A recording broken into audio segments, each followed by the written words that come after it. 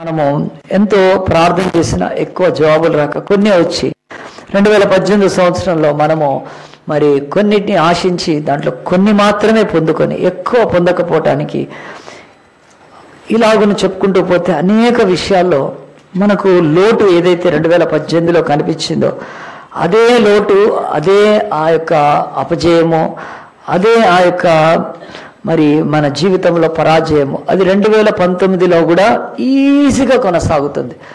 అది అలాగున్న కాలంలో వెళ్ళిపోతుంటారు కానీ మనము దేవుని బిడ్డలమైన మనము అలాగున కాకుండా ప్రతి సంవత్సరం కూడా ఇంకా మహిమ నుండి అధిక మహిమలోకి శక్తి నుండి అధిక శక్తిలోకి కృప నుండి అధికమైన కృపలోకి అలాగనే జయములో నుంచి ఇంకా గొప్ప జయాల్లోకి పోవటానికి బైబిల్ ఒక దగ్గర మనల్ని పరీక్షించుకోమని కరెక్ట్గా ప్రారంభించి చెబుతుంది.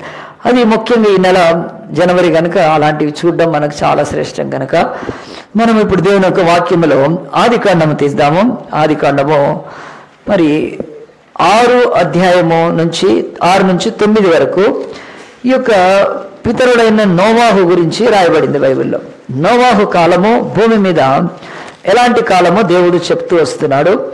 ఆదాము మొదలుకొని నోవాహు వరకు వాళ్ళు మరి ఎన్ని తరాలో బైబిల్ చెప్తుంది మనకు? పది తరాలు. కనుక ఆ యొక్క పది తరాల లోపల దేవుని యొక్క వాక్యం చెప్తుంది. ఒక్కడు మాత్రం ఆదికాండం ఐదో అధ్యాయంలో చూస్తే అతడు మరి మరణము చూడకుండా కొనిపోయిన వాడు ఏడో వాడు హానోకు. తర్వాత అతను ఒక్కడు తప్ప మిగతా ఎవరు కూడా మరి మరణం చూడకుండా కొనిపోబడలేదు. భూమి మీద పాపులుగానే పాపంలోనే బ్రతుకుతూ పాపాన్ని పరిహారం పొందిన వాళ్ళు ఉన్నారు. కానీ ఈ యొక్క శేతు సంతానం కాకుండా కయ్యను సంతానం విస్తరించి శేతు సంతానం కూడా కయ్యూనుతో కలిసి భూమిని మొత్తం పాపంతో నింపివేసినప్పుడు ఆది కాండం ఆరాధ్యాయంలో ఒక మాట దేవుడు భూలోకమును చూచినప్పుడు పన్నెండవ వచ్చిన సిక్స్ ట్వెల్వ్ అది చెడిపోయి ఉండెను భూమి మీద సమస్త చర్యలు తమ మార్గమును చెరిపివేసుకొని ఉండి. ఇలాంటి భూమి ఈ స్థితికి చేరినప్పుడు ప్రారంభంలోనే కొన్ని ఇప్పుడు వేల సంవత్సరాల క్రితమే భూమి అంతా కూడా చెడిపోయిందని బైబిల్ చెప్తుంది. సో ఇక్కడ బైబిల్ ఆనాడు చెడిపోయినట్టుగా చూస్తే మాత్రం అది పొల్యూషన్ వైజ్ అయితే కాకపోవచ్చు. ఎందుకంటే అప్పుడు భూమి మీద ఇంత జనాలు లేరు ఇంత సైన్స్ డెవలప్ కాలేదు ఇంత చెత్త తయారు కాలేదు. అప్పుడు భూమి మీద బైబిల్ చెప్తుంది చెడిపోయింది అని అంటే వాయు కాలుష్యము శబ్ద కాలుష్యము లేకపోతే ఇంకా అలాంటివి కావు. బైబిల్ చెప్తుంది ఆ పొల్యూషన్. అదేమిటో కింద రాయబడింది. భూమి మీద సమస్యలు తమ మార్గమును చెరిపి వేసుకొని ఉండిరి అని చెప్పినప్పుడు దానికి పైన పదకొండవ వచనంలో దేవుని సన్నిధిన చెడిపోయింది. దేవుడు పరిశుద్ధుడు గనక ఆయన సన్నిధిలో చెడిపోయిందల్లా పరిశుద్ధత కోల్పోయింది. రెండవది భూమి బలత్కారంతో నిండింది. అంటే దేవుడు పరిపాలించాల్సిన మానవులను మానవులే పరిపాలిస్తూ దౌర్జన్యముతో దౌష్ట్యంతో ఉన్నారు కనుక. ఇవి చెబుతూ దేవుడు ఇంకా ఈ యొక్క భూమి చెడిపోవటానికి కారణాన్ని దేవుడు మనకు ఎక్కడ చూపిస్తున్నాడు చూడండి. లూక సువార్తలో తీస్తే ఒక చోట అక్కడ మరి బైబిల్ చెప్తుంది. యేసు ప్రభు ఆయన ఉడంకిచ్చి ఈ మాట్లాడాడు కనుక ఈ విషయాలు మనం జ్ఞాపకం చేసుకుంటే లూక సువార్త పద్నాలుగు అధ్యా పదిహేడు అధ్యాయంలో భూమి చెడిపోవటానికి ఇంకొక ముఖ్యమైన కారణం ఆనాడు బైబిల్ చెప్తుంది. ఇరవై ఆరో వచనములో ఇక పద్దెనిమిది పదిహేడు ఇరవై ఆరులో లూకాస్ వార్త seven Luke the gospel seventeen twenty సిక్స్లో నోవాహు దినములలో జరిగినట్టు మనుష్య కుమారులు జరుగునని యేసుప్రభు మాట్లాడుతున్నాడు. యేసుప్రభు నోవాహును జ్ఞాపకం చేసుకుంటూ మాట్లాడుతూ నోవా ఓడలోనికి వెళ్ళిన తరం వరకు జనులు తినుచు త్రాగుచు పెండ్లాడుచు పెండ్లికిచ్చుచు ఉండేది. అంతలో జలప్రళయం వచ్చింది వాళ్ళు నాశనమైపోయారని బైబిల్ చెప్తూ ఈ యొక్క నోవాహు కాలం గురించి ఇక్కడ ఇంకొంచెం దేవుడు వివరించాడు. అప్పుడు భూమి చెడిపోవడానికి కారణము ఎవరికీ భక్తి లేకుండా తినటము త్రాగటమే వాళ్ళకు పెళ్ళి చేసుకోవడము ఇల్లు కట్టుకోవడం. ఈ నాలుగుట్లోనే వాళ్ళు మునిగిపోయి దేవుడి మార్గాన్ని చెరిపి వేసుకొని వాళ్ళ బతుకుల్లో బ్రతుకుతున్నారు. కనుక ఇక అప్పుడు భూమి మీద దేవుని యొక్క ఉనికి కోల్పోతూ పరిశుద్ధత నీతి భక్తి ఆ తర్వాత ఆనాడు మరి మానవులకు ఉండవలసిన సంస్కారము ఏది లేకుండా భక్తి లేకున్నప్పుడు దేవుడు ఒక ఆలోచన చేశాడు. ఈ భూమిని నాశనం చేయాలనుకున్నాడు. కానీ భూమిని నాశనం చేసిన భూమి మీద ఉన్న వాటిని నాశనం చేసిన మానవ జాతిని మాత్రం కాపాడాలని మానవ జాతిని సంరక్షించాలని మానవ జాతిని మళ్ళీ ఇంకోసారి ఆయన తయారు చేయకుండా ఉన్నప్పుడు దేవుని వాక్యము ఆది కాండం ఆరాధ్యాయము దేవుని యొక్క వాక్యములో మరి వచనం తొమ్మిదో వచనం. నోవాహు వంశావళి ఇదే అని చెప్పి నోవాహు నీతిమంతుడు నోవాహు నిందారైతుడు నోవాహు దేవునితో నడిచిన వాడని ఒక వ్యక్తిని కనుక్కున్నాడు దేవుడు. ఆనాడు అతని పేరు నోవాహు. కనుక అతని జీవితంలో ఒక మూడు క్వాలిటీస్ దేవుడు చూపించాడు. అతడు నీతిపరుడని అతడు నిందారహితుడని అంతేకాదు దేవునితో నడిచేవాడని బైబిల్లో స్పష్టంగా చెబుతుంది. సో ఇలాగున్న భూమి అంతా చెడిపోయినప్పుడు దాంట్లో ఒక మంచి వ్యక్తి కనపడ్డము దేవుడికి చాలా ఆశాజనకంగా ఉండింటది. కనుక అలాంటి నీతిపరుడు అలాంటి నిందారైతుడు తనతో నడిచే అతనికి దేవుడు రాబోయే ఒక విషయాన్ని బయలుపరిచాడు. నోవాహు నేను ఈ భూమిని నాశనం చేయబోతున్నాను. నువ్వు ఒక ఓడను కట్టుకోమన్నాడు. వెంటనే నోవాహు దేవుడి మాటకు లోబడి తన చిత్తానుసారం కాక దేవుడి యొక్క ప్రకారంగా చక్కటి ఓడను కట్టాడండి. ఓడను కట్టడం మొదలుపెట్టినప్పుడు ఎందుకు ఓడ కడుతున్నామని మనుషులు అడిగితే జలప్రలయం రాబోతుంది. అంతకుముందు వాళ్ళకి జలప్రలయమో వర్షం కూడా సరిగ్గా తెలియదు. అలాంటి వాళ్ళు ఇప్పుడు ఈ జలప్రలయం వస్తుంది అని అంటే ఎవరు కూడా నమ్మరు. సునామీ రాకముందు సునామీ సునామీ అని చెప్తే ఎవడు నమ్మలేదు. ఇప్పుడు సునామీ వచ్చినాక మాత్రం తెలుస్తుంది కదా అది ఎంత భీకరంగా ఎంత భయం. అలాగనే నోవాహుకు ముందు ఇలాంటివి ఏమీ రాలేదు కనుక ఎవడు నమ్మలేదు. ఆ తర్వాత వాళ్ళు ఎవరు నమ్మినా నమ్మకపోయినా నోవాహుకు ఒక ప్రాబ్లం. దేవుడు చెప్పి నోవాహుకు ఎంతో కాలం గడిచిపోయింది. బైబిల్ ప్రకారము బైబిల్ పండితుల ప్రకారం బైబిల్ శాస్త్రజ్ఞుల ప్రకారము ఆయన ఓడగట్టడం మొదలుపెట్టినాక వర్షం వందేళ్ళ రాలేదండి. ఇది చాలా భయంకరమైంది. దేవుడు మనకి ఏది చెప్పినా కానీ అది చేయటానికి ఎంత కాలం పడుతూ ఉంటుంది? దీని దగ్గరనే మన విశ్వాసము మన యొక్క మనస్సు అంతా కూడా మన విశ్వాసానికి పరీక్ష. మనం ఎంచక మన విశ్వాసానికి ఇది ఒక దేవుడు ప్రమాణంగా తీసుకుంటున్నాడని నమ్మక. మనలో ఏదో తప్పు ఉంది మనం వెళ్ళే చర్చిలో ఏదో తప్పు ఉంది మన భక్తిలో ఏదో తప్పు ఉంది మన కానుకల్లో ఏదో తప్పు ఉంది మనం చేసే పనిలో ఏదో తప్పు ఉంది అసలు మనం నమ్మిన సిద్ధాంతంలో తప్పు ఉంది ఇక చివరికి బయట వాళ్ళు అయితే మనం నమ్మిన దేవుడే కరెక్టా కాదా? ఈ గందరగోళంలో పడిపోతారు కానీ బైబిల్ క్షుణ్ణంగా ధ్యానించి బైబిల్ స్టడీకి వచ్చిన వాళ్ళందరికీ మాత్రం డౌట్స్ క్లియర్ అయిపోతాయి. దేవుడు నోవాహు ఓడ కట్టుకోమని చెప్పి కరెక్ట్గా ఒక సంవత్సరం రెండు సంవత్సరాల్లో ఓడ కట్టేస్తే ఆ తర్వాత వర్షం రాలేదండి అది. దేవుడు వంద సంవత్సరాలు అతన్ని నిరీక్షణ కలిగింది. ఎందుకు అనంటే ఆనాడు నోవాహును వాడ త్వర త్వరగా కట్టుకొని త్వర త్వరగా లోపలికి వెళ్ళిపోతే త్వర త్వరగా నేను చంపేస్తానని దేవుడు ఉద్దేశం కాదండి దేవుడు దీర్ఘశాంతుడు ఆయనకున్న ఒకటి. ఆయన దయామయుడు ఆయన కనికర సంపన్నుడు వాత్సల్యపూర్ణుడు. ఆయన ఓర్పు సహనం ఎంతదంటే మనిషి తన యొక్క ఊహలో అలాంటి దాన్ని తను అర్థం చేసుకున్నాడు అంత దీర్ఘశాంతుడు కనుక ఆయన ప్రతివాడు మారు మనసు పొందాలని ఆయన ఆగుతున్నాడు అంతే చూడండి పేతురు పత్రిక తీస్తే దేవుడు చెప్తున్నాడు చాలాసార్లు దేవుడి యొక్క దీర్ఘశాంతము మానవుడికి కోపం తెప్పిస్తుంది కానీ మరి ఆయన తన యొక్క స్వభావాన్ని అలాగున మార్చుకోలేడు. దేవుడి వాక్యం బహు స్పష్టంగా చెప్తూ మనందరం కూడా ఆ యొక్క పేతురు రాసిన రెండవ పత్రికలో చూస్తే దేవుడు మరి ఆయన ఈ భూమి మీద మనందరినీ కూడా మరి ఆయన ఓర్చుకుంటున్నాడు ఇంకా మరి ఆయన ఎందుకు ఇచ్చేస్తున్నాడు అంటే ఆ యొక్క మూడవ అధ్యాయము సెకండ్ పీటర్ థర్డ్ చాప్టర్లో మరి ఎనిమిది వచ్చిన చదువుతాను. ప్రేలారా ఒక సంగతి మర్చిపోకండి. ఎలానగా ప్రభు దృష్టికి ఒక దినం వెయ్యి సంవత్సరాల వల్ల ఉంటుంది. వెయ్యి సంవత్సరాలు ఒక దినం వల్ల ఉంటాయి. కొందరు ఆలస్యమని ఎంచుకున్నట్లు కొందరు ఆలస్యమని ఎంచుకున్నట్లు కొందరు ఆలస్యమని ఎంచుకున్నట్లు ప్రభు తన వాగ్దానం గురించి ఆలస్యం చేయవాడు కాడు. కానీ ఎవడనూ నశింపవలనని ఇచ్చయింపక అందరూ అందరూ అందరూ మారు మనసు పొందవలనని కోరుచు నీ ఎడల దీర్ఘ శాంతము గలవాడై ఉన్నాడు అని చెప్తున్నాడు. దేవుడు ఆయన తన ఉగ్రతలో మనిషిని నాశనం చేయటానికి మనిషే పాటివాడు నరుడే పాటివాడు దేవుడి ముందు. అలాంటి ఆ యొక్క దేవుడి యొక్క ఉగ్రత మన మీద పడటానికి ఎంతసేపు కానీ దేవుడు ఓర్చుకుంటున్నాడు ఆయన. కనుక నోవాహుకు చెప్పి యాభై ఏళ్ళకు వర్షం పడలేదు అరవై ఏళ్ళకు డెబ్బై ఏళ్ళకు బైబిల్ పండితుల ప్రకారం వందేళ్ళకు కనుక దేవుని వాక్యం ఎప్పుడు చెప్తుంది? నీవు దేవుడు చెప్పి నిన్ను కట్టుకోమని చెప్తూ దాన్ని నెరవేర్చడానికి సమయం ఆలస్యం అవుతుందంటే ఎట్టి పరిస్థితుల్లో నీకు చెప్పింది రాంగ్ అని అనుకోవద్దు కానీ దేవుడు నీకు చెప్పింది రైట్ అయ్యి నీకు చేస్తూ ఉంటే మాత్రము ఆయన ఉద్దేశము ఇంకొక వైపు వేరుగా ఉంటుంది కనుక. దాని కొరకు కనిపెట్టాలి. దాని కొరకు నిరీక్షించాలి కనుక. నోవాహు నిరీక్షణ అలాగునవుతుందండి మరి అతనికి ఎప్పుడు చెప్పాడు మరి వర్షము పడుతుందనిక?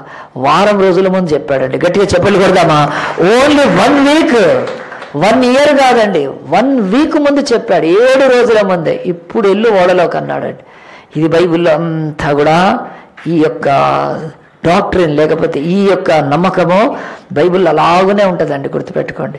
అబ్రహముకు పిల్లల్ని ఇస్తా అని చెప్పి పిలిచాడు దేవుడు.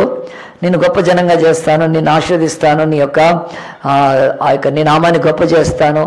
ఇవన్నీ చెప్పాడండి దేవుడు చెప్పినాక. ఆయనకు ఇరవై ఐదేళ్ళ తర్వాత కుమారుడినిచ్చే ముందు ఆ యొక్క వన్ ఇయర్ బిఫోర్ చెప్పాడండి. ఇరవై నాలుగేళ్ళు ఆయనకు తెలియదు అసలు ఎప్పుడు పుడతాడో. మనకంటే స్టోరీ కంప్లీట్ అయిపోయింది కనుక కాదు. నీ లైఫ్లో కూడా దేవుడు ఎప్పుడు ఏం చేస్తాడో అస్సలు నీకు తెలియదు. ఆయన వాగ్దానం చేసిన వాడు నమ్మదగిన వాడు మంచి దేవుడు కృపగల దేవుడు ఆయన మాట తప్పని దేవుడు. నీ లైఫ్లో ఒక ఇల్లు కట్టాలనుకున్నా లేకపోతే ఒక పెళ్ళి అయినా ఒక ఉద్యోగమైనా నీ లైఫ్లో దేవుడు ఇస్తానని నువ్వు నమ్మి ఉంటే దాని ప్రకారం నువ్వు జీవిస్తూ ఉంటే ఆ సమయం మాత్రం అది ఎంతో నీకు అర్థము కాదు భూమి మీద గుర్తుపెట్టుకోండి. సౌలు దావీదుని ఎంటాడుతుంటుంటే ఒక మిన్నంగి వేళ పొయ్యి దాక్కోవడం తప్ప అతనికి ఏం తెలియదండి. ఏడుస్తాడు. ప్రభా నాకు రెక్కలుంటే నేను ఎగిరిపోయి ఉండేవాడిని కదా నా బతుకు ఏమిటి అని చెప్పి ఏండ్లు ఏండ్లు ఏండ్లు గడిపాడండి. సౌలు చేతికి చిక్కకుండా కాపాడుకోవడమే అతని బ్రతుకులో ఉండేది. బట్ దేవుడు ఒకరోజు సౌలుని తీసేసి దావిని తీసుకొచ్చే వరకు టైం తెలియదండి. ఇయర్ లాస్ట్ అనుకున్నాడు. ఇయర్ లాస్ట్ ఇయర్ ఏమీ లేదు. అలాగనే కొనసాగుతుంది. సో బైబిల్లో దీన్ని మీరు ఖచ్చితంగా గుర్తుపెట్టుకోండి. దేవుడికి చేతగాక కాదు దేవుడికి ఆ యొక్క అశక్తి కాదు లేకపోతే బలహీనత కాదు దేవుడు మర్చిపోయి కాదు. దేవుడు నిన్ను ఎక్కువగా పరీక్షించడం కూడా కాదు. ఆయనకు నీతో పాటు ఇంకా వేరే పనులు ఎన్నో ఉంటాయి. దీంతో ముడిపడినాయి కనుక ఆయన చేయలేడు అంతే చెయ్యడు కనుక. వంద ఏళ్ళు ఆనాడు భూమి మీద ఆ యొక్క వర్షం ఎందుకు పడలేదు ఓడగట్టుకున్నాం కంటే దేవుడు చెప్తున్నాడు దీర్ఘశాంతమే ప్రతివాడు మారు మనసు పొందాలని అలా ఉన్నప్పుడు విసిగిపోయి నోవా ఏం చేయొచ్చండి? ఇక వర్షం రాదని చెప్పి ఆ ఓడ మళ్ళీ ఇప్పితే నట్లు బోట్లు తీసి ఇప్పినా ఇప్పుతారు. చాలామంది ఇప్పేస్తున్నారు. ఈరోజు నేను చెప్పే మాట మీకు అట్లా అనిపిస్తుంది. చాలామంది రక్షణ వారి జీవితంలో కట్టుకుంటున్నారు. ఆ దినం వరకు కనిపెట్టకుండా ఏం చేస్తున్నారు? కట్టిన ఓడకు మంచిగా స్క్రూ డ్రైవర్ కటింగ్ ప్లేయర్ నట్లు బోల్డ్ ఇప్పి ఇక దాళ్ళని తీసి పెట్టుకుంటున్నారు? చాలామంది వాళ్ళ విశ్వాసాన్ని అడ తలకెక్కిచ్చేసారు ఎక్కిచ్చేసారు పైకి. అది ఏమిటంటే ఇక చర్చికి పోరు వాళ్ళు. ఇంకెక్కువ ప్రార్థన చేయరు వాళ్ళు. ఇంకెక్కువ బైబిల్ ఉండరు ఒకలాంటి డల్నెస్. ఒకలాంటి ఆ యొక్క నిరాశాభావం లోపలికి వచ్చేసి ఇంకా నాకేమవుతుంది? ఇంతమంది కదా ఇంతమంది అంటున్నారు. నీ జీవితంలో ఏం ఏడ్చావు ఏం పోయావుగా చర్చికి ఇంత భక్తి ఏమిచ్చింది నీకు భక్తి? అంటుంటుంటే నిజంగా ఆ టైంలో మనము కరెక్టే వీళ్ళందరూ అన్నది కరెక్ట్ అని చెప్పి ఫస్ట్ బైబిల్ ముట్టుకోవడం మానేస్తారు. ఇక బైబిల్ పోయిన పక్క పెట్టేసే బైబిల్. పాటల పు- పాల పుస్తకం ఎప్పుడు ఉంది కానీ అది పక్కన పెట్టేసేసి. ఇంకేమిటండి అసలు. చర్చికి ప్రార్థనలకు వెళ్ళడమో ఉండాలి. నేను ఇంతకాలం చర్చికి వెళ్తే నాకేమొచ్చింది? నన్ను ఏంది బాగు చేశాడు? దేవుడు అంటే నన్ను నీకు నేను ఎట్లా చెప్తాను నేను? నేను చెప్పేం చేస్తాను కానీ నీకు ఎప్పుడు చెప్తా ఎప్పుడు చేస్తానో నేను చెప్పలేదు నేను కనుక. అని చెప్పి ఈ రోజు వరకు భక్తులందరి జీవితంలో ఒక సుదీర్ఘమైన నిరీక్షణే ఉంది తప్ప ఎవ్వరు కూడా ఆ సమయాన్ని నిర్ణయించుకొని నిశ్చయించుకొని చెప్పగలిగింది లేదు. ఇది హండ్రెడ్ పర్సెంట్ బైబిల్ డాక్టర్ నేను చెప్పేది. అందరి జీవితాల్లో చూపిస్తాను. గుర్తుపెట్టుకోండి ఒక్కొక్కరి జీవితంలో ఎవరిని శరసాల్లో వేసేసినా కానీ భక్తులను అపోస్తులను ఎప్పుడు బయటకు వస్తారో తెలిసేది కాదు. అలాంటిది దేవునికి సమర్పించుకొని ఆ సమర్పణలో లోబడి బ్రతకడం భక్తుల ఆ యొక్క నిజ స్వరూపము స్వభావం అయితే దొంగ అపోస్తులు ఈరోజు. దొంగ ప్రవక్తలు అది జరుగుతుంది ఇది జరుగుతుంది అని చెప్పడం ఎంత విడ్డూరం ఆలోచించండి. చెప్తున్నారు ఈరోజు కదా పలానా స్టేట్లో ఆయన గెలుస్తాడు ఈయన గెలుస్తాడని రాజకీయ ప్రవచనాలు దగ్గర నుంచి తుచ్చమైన సోది చెప్పేవాళ్ళు ఈరోజు చర్చలు ఎక్కువైపోయారు. కదా నీకు అది జరుగుతుంది ఏమి జరగదండి. దేవుడు అంటున్నాడు నీ పరీక్ష కదా నీ ఓర్పు నీ నిరీక్షణ అది నీకు మహిమను తీసుకొని వస్తుంది. కనుక నువ్వు వేచి ఉండాలి. అలాగున? ప్రభువుని అడగాలి దానికి కావాల్సిన. ఇప్పుడు ఆలోచించండి ఓడగట్టి వర్షమైన కురిపిస్తాడా? కృత్రిమ మేఘాలను సృష్టించి మన ప్రభుత్వాలు సృష్టిస్తాయి కదా. ఆర్టిఫిషియల్ రేకులు సిల్వర్ని కాల్చి కదా సిల్వర్ కదా నోట్లు కాల్చేస్తుంటారు. పైకి తీసుకెళ్ళి వెండిని కాలుస్తారండి. ఆ టెక్నాలజీ బాగా డెవలప్ అయింది కదా. కృత్రిమ వర్షాలు కురిపిస్తా ఉంటుంటారు. అక్కడ కృత్రిమ వర్షాలు ఈలు ఏడుస్తుంటే ఇక్కడ కిందనేమో కప్పలకు పెళ్ళిళ్ళు చేస్తారు వీళ్ళు చేసి ఈ కప్పలకు పెళ్ళిళ్ళు చేసి గాడిదకు కూడా పెళ్ళి చేస్తారు. అన్ని రకాలలో ఉన్నారండి కదా కానీ ఏందో పిచ్చోళ్ళ మనం వచ్చే చర్చలో దేవా వర్షాలు వర్షాలని ప్రార్థన చేస్తాం ఛాయలు దాక్కుంటా. ఆలోచించండి. మరి అలాగున మరి ఇప్పుడు నోవా వర్షం కురిపిస్తాడా? కురిపించలేడు. మరి ఏం చేస్తాడు కదండి? ఏం చేయ ఓడ ఇప్పు. ఆ ఏం చెయ్యి? మంచిగా మళ్ళీ చక్కగా డిన్నర్లు ఆ యొక్క విందులు చేసుకుంటే ఆ కట్టెలే తీసి పొయ్యిలో పెట్టి అందరూ వండుకోవచ్చు. అప్పుడు కొంతమంది వచ్చారు నవ్వు నీ ఓడే కొన్ని కట్టెలు నాకు కూడా మా ఇంట్లో ఫంక్షన్ ఉందని అడుగుతారు. అన్ని పిచ్చేసేయాలి కదా? చాలామంది కట్టుకున్న రక్షణ ఓడని ఇప్పేస్తున్నారండి ఈరోజు. టైమో లేదు వాళ్ళకి. ఇంకా దేవుడు ఏం చేయట్లేదు నాకు.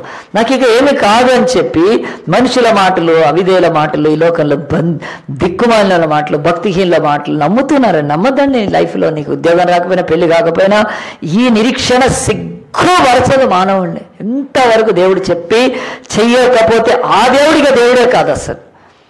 ఆయన దేవుళ్ళలో వేరుగానే ఉన్నాడు. ఈ కుప్పలు కుప్పలు కుప్పలు కుప్పలు కుప్పలు కోట్ల కోట్ల దేవుళ్ళలో ఒకడు కాదు ఆయన అసలు. అలాంటి సిగ్గుమాలిన సిగ్గులేని పనులు చేసే దేవుడు కాదు ఈ బైబిల్లో. మాట ఇచ్చి తప్పేవాడు వాడెట్లా దేవుడు అవుతాడండి కదా? అస్సలు కాజాలడు. తన స్వభావానికి విరుద్ధంగా ఏం చేయాలని వాడే దేవుడు. దేవుడు అంటే భీకరుడు శక్తుడు కదా? అలాగున ఇలాగున కొండను పెట్టి కదా? వేలు పెట్టి లేపడము చిటికెన్ వేలు ఇవి కాదు దేవుడు అంటే దేవుడు అంటే ఎవరు అసలు? తన మాటకు విరుద్ధంగా చేయను అలాంటి దేవుడు ఇప్పుడు నోవాహు కూర్చొని ఉంటాడు కదా. నోవాహు భార్య అవ్వ. ఏమి ఇంకా వర్షం వస్తుందంటవా? ఏం వస్తుందో ముసలాడు కట్టాడు అంతా కదా. మొత్తానికైతే అందరం ఎవరేమనుకున్న నోవాహు తన నిరీక్షణలో అస్సలు ఇది కాలేదండి. వన్ వీక్ బిఫోర్ చెప్పాడు. నిజంగా వన్ వీక్ వర్షం వచ్చే ముందు తను కూడా లోపలికి వెళ్ళినప్పుడు అప్పుడు పశువులన్నీ జంతువులు క్రూర మృగాలు వస్తున్నాయండి.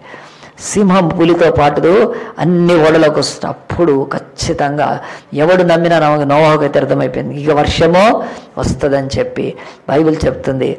ఆ తర్వాత వర్షము వారం రోజులు ముందు బొమ్మంటే ఆ యొక్క నోవాహు సాల్య ప్రభ తొంభై ఏళ్ళు నీ వర్షము బాగానే చెప్పావు. ఇప్పుడు మళ్ళీ నేను వడలో పోయి కూర్చుంటే వర్షం రాకపోతే నా సిగ్గు డబల్ పోతుంది.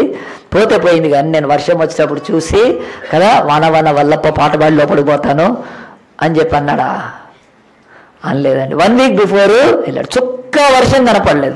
అయినా వాడికి లోపలికి వెళ్ళాడు. ఏంటంటే జంతువులు? రావడం మొదలుపెట్టాయి వన్ వీక్ సర్దుకున్నాడు. దేవుడు వన్ వీక్ ఎందుకు టైం ముందు చెప్పాడంటే దేవుడికి తెలుసు ఇన్ని పశువులు ఆ తర్వాత వీళ్ళు ముగ్గురు కోడళ్ళు ముగ్గురు కొడుకులు వాళ్ళు బయలుదేరి రావాలంటే ఎంత సరదాలండి కదా? ఓ సరుతారు చర్చికి రమ్మంటే కదా. సర్ది సర్ది సర్ది సర్ది. అక్కడికి వచ్చేవరకు అదే టైం డైలీ కదండి. ఆలోచించండి మరి. లోకం మునిగిపోయేటప్పుడు సర్దుకోవడం ఎట్లుంటుందండి అసలు నిజంగా ఈ ఆదివారం లోకం మునిగిపోద్దని చర్చిలోకి రమ్మంటే ఎప్పుడు వస్తారండి? ఆ రోజు కూడా మిస్ అవుతారు. ఫుట్బాల్ ఎక్కేస్తారు చాలామంది. ఆలోచించండి బైబిల్లో. కిందికి మీదికి పడి అది పడేసి ఇది పడేసి ఈ టవాల్ అక్కడ పడేసి ఆ బ్రష్ ఇక్కడ పడేసి వేసుకొని. ఈ- ఏమి కర్మ ఏమి కర్మ? దేవుడికి తెలుసు. మానవుడు ఎంత బలహీనుడో తెలుసు కనుక నోవాహు తనకి ఇంటికి ఎంత దగ్గరలో కట్టుకుంటాడో కూడా తెలియదు మనకు. ఆ రోజు ఓడ కట్టింది ఎక్కడ కట్టాడంటే ఆయన ఒక ప్లేస్లో కట్టాడు. అది ఒక రేవు కాదు. ఎందుకంటే రేవు అంటే నీళ్ళల్లో ఉంటుంది. ఒక నది కానీ యువతల నుంచి అవతల చెరువుకో లేకపోతే నదికో అది ఏం కాదు ఉన్న చోట కట్టుకున్నాడండి.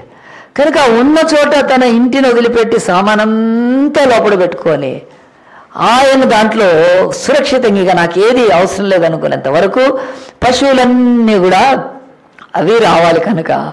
అవి వస్తాయి ఆ పశువులు? అవి రావు కదా. తోకూపుతాయి ఒకసారి ఇటు అటు చూస్తాయి. తోకూపుతాయి రావు కదా. అలాగే అవన్నీ రావడానికి సెవెన్ డేస్ టైం పడుతుంది కనుక దేవుడు కరెక్టే నీ లైఫ్లో కూడా గుర్తుపెట్టుకో దేవుడు చేసేది ఏదైనా ఉంటే. వన్ వీక్ బిఫోర్ చెప్పొచ్చు అండి నీకు అంతే. వన్ వీక్లో అన్ని సెటిల్ అయిపోతాయి. నీ మ్యారేజ్ కావచ్చు జాబ్ కావచ్చు ఇంక ఏదైనా సరే అండి. వన్ వీక్ ఇనఫ్ ఆనాడు ప్రపంచంలోని సమస్తాన్ని నాశనం చేసి తన బిడ్డను తన వస్తువులతో పాటు ఆహారంతో పాటు అన్నీ కూడా నిల్వ చేసుకోవడానికి వన్ వీక్ దేవుడు టైం ఇచ్చాడండి.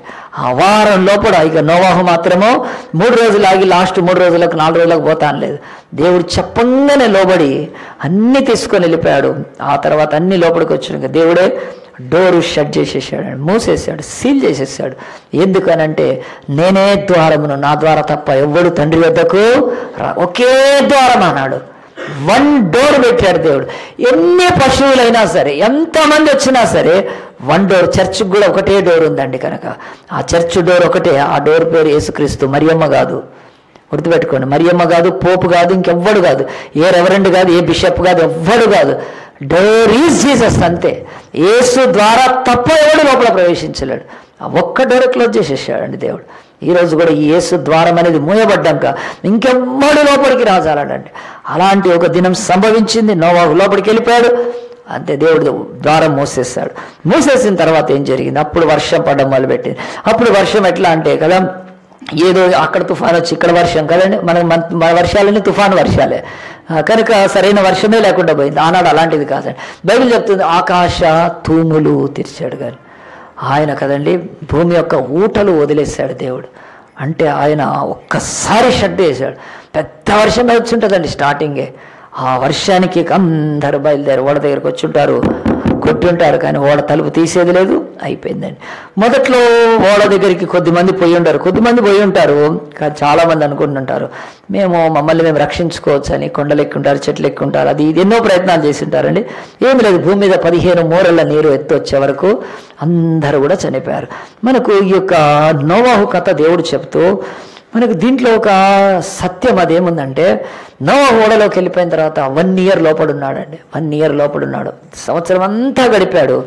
భూమి మీద ఎప్పుడు కూడా నలభై పగళ్ళు నలభై రాత్రులు వస్తాయండి. ఫార్టీ నైట్స్ వస్తే ఫార్టీ డేస్ రావాలి. లేకపోతే ఫార్టీ డేస్ ఉంటే ఫార్టీ నైట్స్ రావాలి. కానీ ఈ కాలం బైబిల్ చెప్తుంది ఆకాశము నలభై దినాలు వర్షం కురిపించాలంటే సూర్యుడు ఉండగా వర్షం ఏం పడదండి దట్టమైన మేఘాలతోనే వర్షం పడుతుంది. దేవుడు ఎట్లా తెరిచినప్పుడు అంత కుంభవర్షం కురుస్తున్నప్పుడు ఈ బైబిల్ చెప్తుంది ఈ బైబిల్లో ఫార్టీ కంటిన్యూ నైట్స్ ఉన్నాయండి ఒకసారి. నలభై రాత్రులే ఉన్నాయి. పగలు లేదు అసలు ఇక. పగలనేదే లేదండి అసలు. పగలనేది లేదని ఏంటంటే పగలంటే వెలుతురు వెలుతురు అంటే దేవుడు దేవుడంటే నీతి దేవుడంటే ఆయన ఇది కనుక బైబిల్ అంటుంది ఆనాడు భూమి మీద జనానికి నలభై దినాలు చీకటి కమ్ముకుంది. దేవుడు మహాభయంకరుడు అండి అసలు. చీకట్లో ఇప్పుడు ఏ చెట్లు ఎక్కుతావు నువ్వు చీకట్లో నీ సామాన్ ఎక్కడ తెచ్చుకుంటావు? చీకట్లో ఏ కొండ ఎక్కుతావు? నీ బతుకులో ఏమవుతుందో చీకటి తడుములాడాల్సిందే. సరే తడుములాడుతున్నారు. ఒకవైపు వర్షం బట్టలు తడిచిపోతున్నాయి వస్తువులు తడిచిపోతున్నాయి తిండి తడిచిపోతుంది అన్నీ తడిచిపోతున్నాయి ఏ పశువు కాపాడుతుంది? పశువు మీద ఎక్కిపోదామంటే అవే గడిచిపోతున్నాయి దేవుడు దిక్కులేని స్థితికి వదిలేస్తాడు తెలుసా అండి? ఆనాడు జరిగింది అదే కనుక వాళ్ళ స్థితి గతి ఎట్లుంటుందో మీరు ఊహించండి. ఐదు రోజులు ఆరు రోజులు వర్షం పడితే హైదరాబాద్ మునిగిపోయేదండి. మా పాప ప్రిన్స్ ఇక్కడ జీనియస్ గ్రామర్ స్కూల్లో చదువుతున్నప్పుడు ఫైవ్ డేస్ సిక్స్ డేస్ అండి అంతే. ఆరో రోజు హైదరాబాద్ మునిగిపోద్ది అనుకున్నారు. దేవుడు ఆపాడు కనుక సరిపోయింది. మొత్తం స్కూళ్ళన్నీ బంద్ అయిపోయినాయి అప్పుడు. ఏమి లేదు స్తంభించిపోయింది. ఫైవ్ డేస్ మామూలు వర్షానికి హైదరాబాద్లో ఎందుకంటే డ్రైనేజీలు నాళాలు కాలువలు అన్నీ పొరులు పడుతున్నాయి. అప్పుడు రోడ్డు ఏదో తెలియట్లేదు ఆ తర్వాత దారి ఏదో తెలియట్లేదు. ఫైవ్ డేస్కి అట్లున్నప్పుడు ఆనాడు స్థితి ఎట్లుంటుంది? అలాంటి భీకరమైన స్థితిలో నోవాహు ఓడలోంచి ఏం చేస్తున్నాడు? అని కిటికీ ఉంది చూడాలంటే చూడొచ్చు. మరణము భూమి మీద ఉన్నప్పుడు ఆ యొక్క నోవాహు జీవములో ఉన్నాడండి. గట్టిగా చెప్పలు కొడదామా ఈరోజు భూమి లోకం మరణములో ఉంది. ఈ చర్చ్ ఈ ఓడ సంఘమే క్రీస్తే. క్రీస్తే ఈ church is nothing but ark అంటారు. ఆర్క్ అన్న చర్చ్ అన్న ఒకటే. ఒక చక్కటి మనల్ని ప్రొటెక్ట్ చేసే దేవుడు కట్టాడు. అది ఎట్లా కట్టాడు? ఆయన కట్టుకోమని చెప్పి మనతో కలిసి కట్టాడు ఆయన.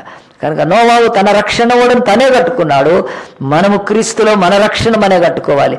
ఆ యొక్క నోవాహు చెట్టును సృష్టించలేదు. చెట్టు కర్ర తీసుకున్నాడు. మనం కూడా జీసస్ని సృష్టించలేము. జీసస్ ద్వారా కట్టుకుంటున్నాం అంతే. నువ్వు యు కాంట్ నువ్వు ఏదైనా తయారు కానీ ఒక జీవం కలిగిన చెట్టును మానవుడు తయారు చేయలేడండి. అలాంటి చెట్టు అయిన యేసుక్రీస్తు లేకపోతే ఆయన దేహమైన మానవతకి సంబంధించిన ఆయన యొక్క ఈ శరీరానికి సంబంధించిన వుడ్ అంటే దాంట్లో మేకులు దిగుతాయి కనుక మెటల్లో మేకులు దిగవు. మేక మెటల్కి వెల్డింగ్ చేయాల్సి వస్తుంది. మెటల్కి ఎప్పుడు కూడా మేకు కొట్టలేము మనం. కదా డ్రిల్ చేసి దానికి నట్టు బోల్ట్ ఫిట్ చేయొచ్చేమో కానీ ఒక దానికి పెట్టి టక్ టక్ టక్ మని మేకు కొట్టినట్టు కొట్టలేము బాడీకి కొడతాం గనక ఈ చెక్క యేసుప్రభు శరీరమే. యేసుప్రభుకు మేకులు కొట్టి పారేశారు. ముళ్ళు గుచ్చి పారేసేసారు ఆయనకు తారు పూసి పారేసేసారు చేదు పూసేశారు అవన్నీ సహించాడు యేసుప్రభు. మనం అట్లా కట్టుకోవాలని చెప్తూ లోకం మరణము ఏలుతూ మరణం మృదంగముగా ఉంటే లక్షల మంది కుడివైపున కదా నీ ఎడం వైపున పదివేల మంది కూలిన అపాయమో నీ వద్దకు రాదన్నట్టుగా నో అంత బాగా కాపాడబడుతున్నాడండి. అప్పుడు అనుకుంటాడు దేవా నా నిరీక్షణ ఈరోజు నన్ను సిగ్గుపరచలేదు. నా యొక్క ప్రయాస నాకు మరి వ్యర్థము కాలేదు. ఈ భోరు వర్షంలో ఈ హోరు తుఫాన్లో ఈ యొక్క జల సంద్రములో ఈ యొక్క అలల ఓరడిలో మనుష్యులు ఆకుల్లాగా కొట్టుకొని పోయి సస్తూ ఉంటే క్షేమంగా ఒక్క డ్రాప్ వర్షం పడట్లేదండి ఎవరి మీద? నవాహు మీద. ఇంకోసారి చెప్పలు కొడదామా బైబిల్ అంటుంది నిన్ను నా యొక్క నీ జీవం నాలో దాచబడిందని చెప్తున్నాడు యేసుప్రభు. ఆ ఓడనే చర్చి ఈరోజు. రావాలి చర్చిలోకి రావాలండి ఎంత చెప్తున్నా వినట్లేదు ఎవరు కానీ. వాళ్ళకి తెలియదు అలాగనొచ్చి అలాగున మరణాలలో బతుకుతున్నారు స- స- నాశనంలో బతుకుతున్నారు. అలాగున నోవాహో ఇక స్తుతించడం మొదలుపెట్టింటాడు. వాళ్ళంతా ఫ్యామిలీ ప్రేయర్ చేసుకొని ఉంటారు. వాళ్ళకు ఫ్యామిలీ ప్రేయర్ ఓడలోకి వెళ్ళినాక స్టార్ట్ కాలేదండి. గుర్తుపెట్టుకోండి ఓడలోకి వెళ్ళినాక ఫ్యామిలీ ప్రేయర్ స్టార్ట్ కాదు అది. బయట ఫ్యామిలీ ప్రేయర్ చేస్తున్నారు కనుక ఓడలో ఉన్నారు. చాలా మంది ఓడలోకి వెళ్ళాక ప్రేయర్ చేసుకుందాం అనుకుంటారు. అది కుదరదండి అది. కనుక అది భూమి మీదనే కనుక. మీ ఫ్యామిలీలో మీ బతుకులో ఫ్యామిలీ ప్రేయర్ లేదు అని అంటే మీరు ఓడ మిస్ అయిపోతారు. గుర్తుపెట్టుకోండి. ఆ ఓడ మిస్ అయిపోతే పోయింది మేము ఓలా బుక్ చేసుకొని వస్తామంటే ఓలాలు ఉండవు అక్కడ. ఓలాలు ఊబర్ క్యాబులు ఏమి ఉండవు. ఇంకా నీళ్ళల్లోకే పోతాయి కనుక. గుర్తుపెట్టుకోండి. నీళ్ళలో కాపాడగలిగింది ఓడ. శాప పాపాల నుంచి కాపాడగలిగింది యేసుక్రీస్తు ఒక్కడే. ఇంకేది కాపాడదు మనల్ని. కనుక ఆయన డెత్ ప్రూఫ్ ఆయన ఆయన.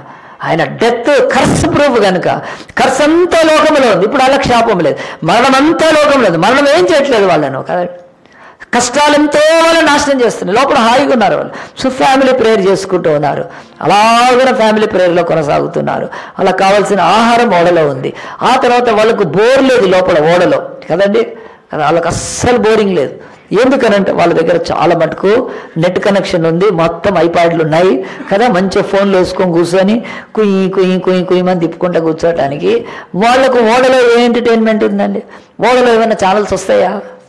ఏం ఛానల్స్ వస్తాయి? ఏమి రావు ఛానల్స్ మరి ఏంటి ఆనాడు ఎంటర్టైన్మెంట్ ఏంటి? బైబిల్ చెప్తుంది ఆనాడు ఈనాడు కూడా ఈ ఎంటర్టైన్మెంట్ అనేది మనిషిని నాశనం చేసేది సైతాన్ని కనుక మనం వాటికి ఎడిక్ట్ అయితే అవి నాశనం చేస్తాయి. వాళ్ళకి ఆ ప్రాబ్లమే లేదు. దేవుడు చెప్తున్నాడు న్యాచురల్ ఎంటర్టైన్మెంట్ ఏంటంటే దానిలో వాళ్ళు ఆ నోవాహు ఆయన ఫ్యామిలీ చూడని అనేక జంతువులు ఉన్నాయండి. వాడి దగ్గరికి వెళ్ళొచ్చు. దాన్ని ఇట్లా ఇట్లా అనొచ్చు కదా. అయినా చక్కగా దాంతో కొంతసేపు అది ఏం చేస్తుంది చూడొచ్చు వాటికి మేత పెట్టచ్చు వాటికి వాటికి ఇంకేదైనా ఉంటే క్లీన్ చేయొచ్చు. చక్కగా వాడుతామండి కదా? అలాగున్న పౌరాల దగ్గర నుంచి ఆ యొక్క పక్షుల దగ్గర నుంచి జంతువుల దగ్గర నుంచి అన్నిటి దగ్గరికి వెళ్ళి ఎంత టైం అండి.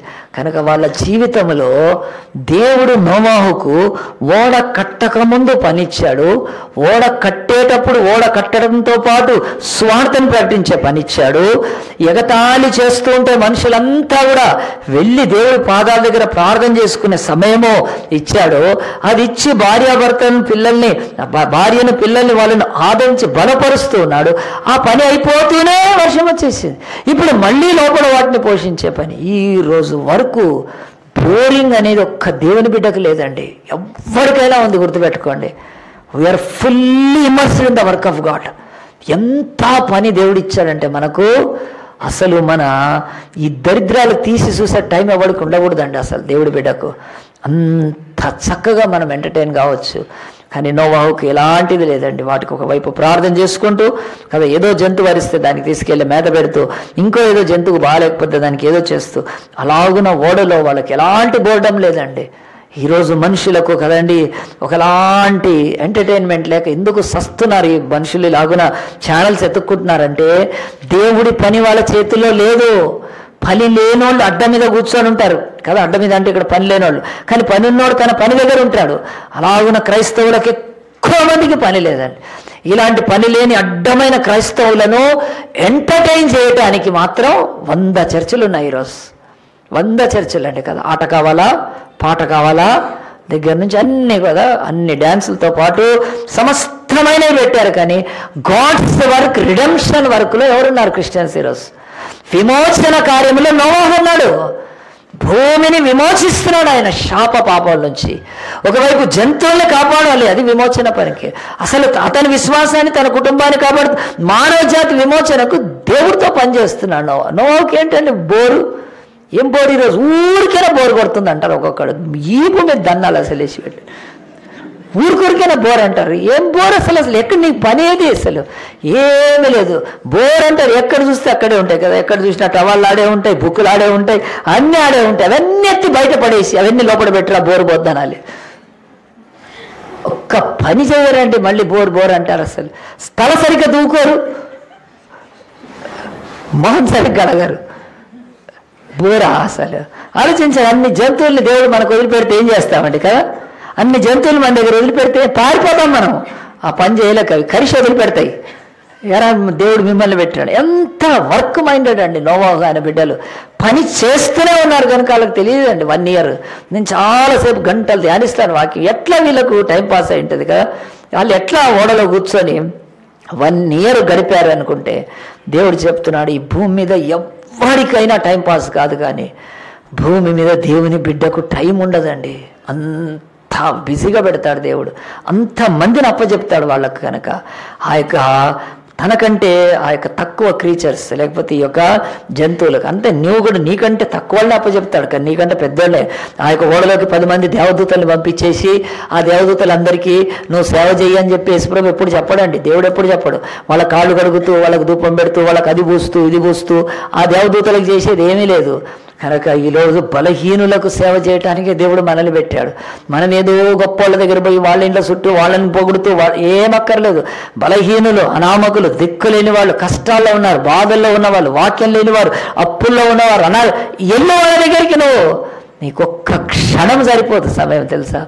అలాంటి ఒక గొప్ప నోవాహు ఓడలో ఆయన సంవత్సరం అంతా కూడా ఆరాధించాడు. సంవత్సరం అంతా కూడా పరిచయం చేశాడు.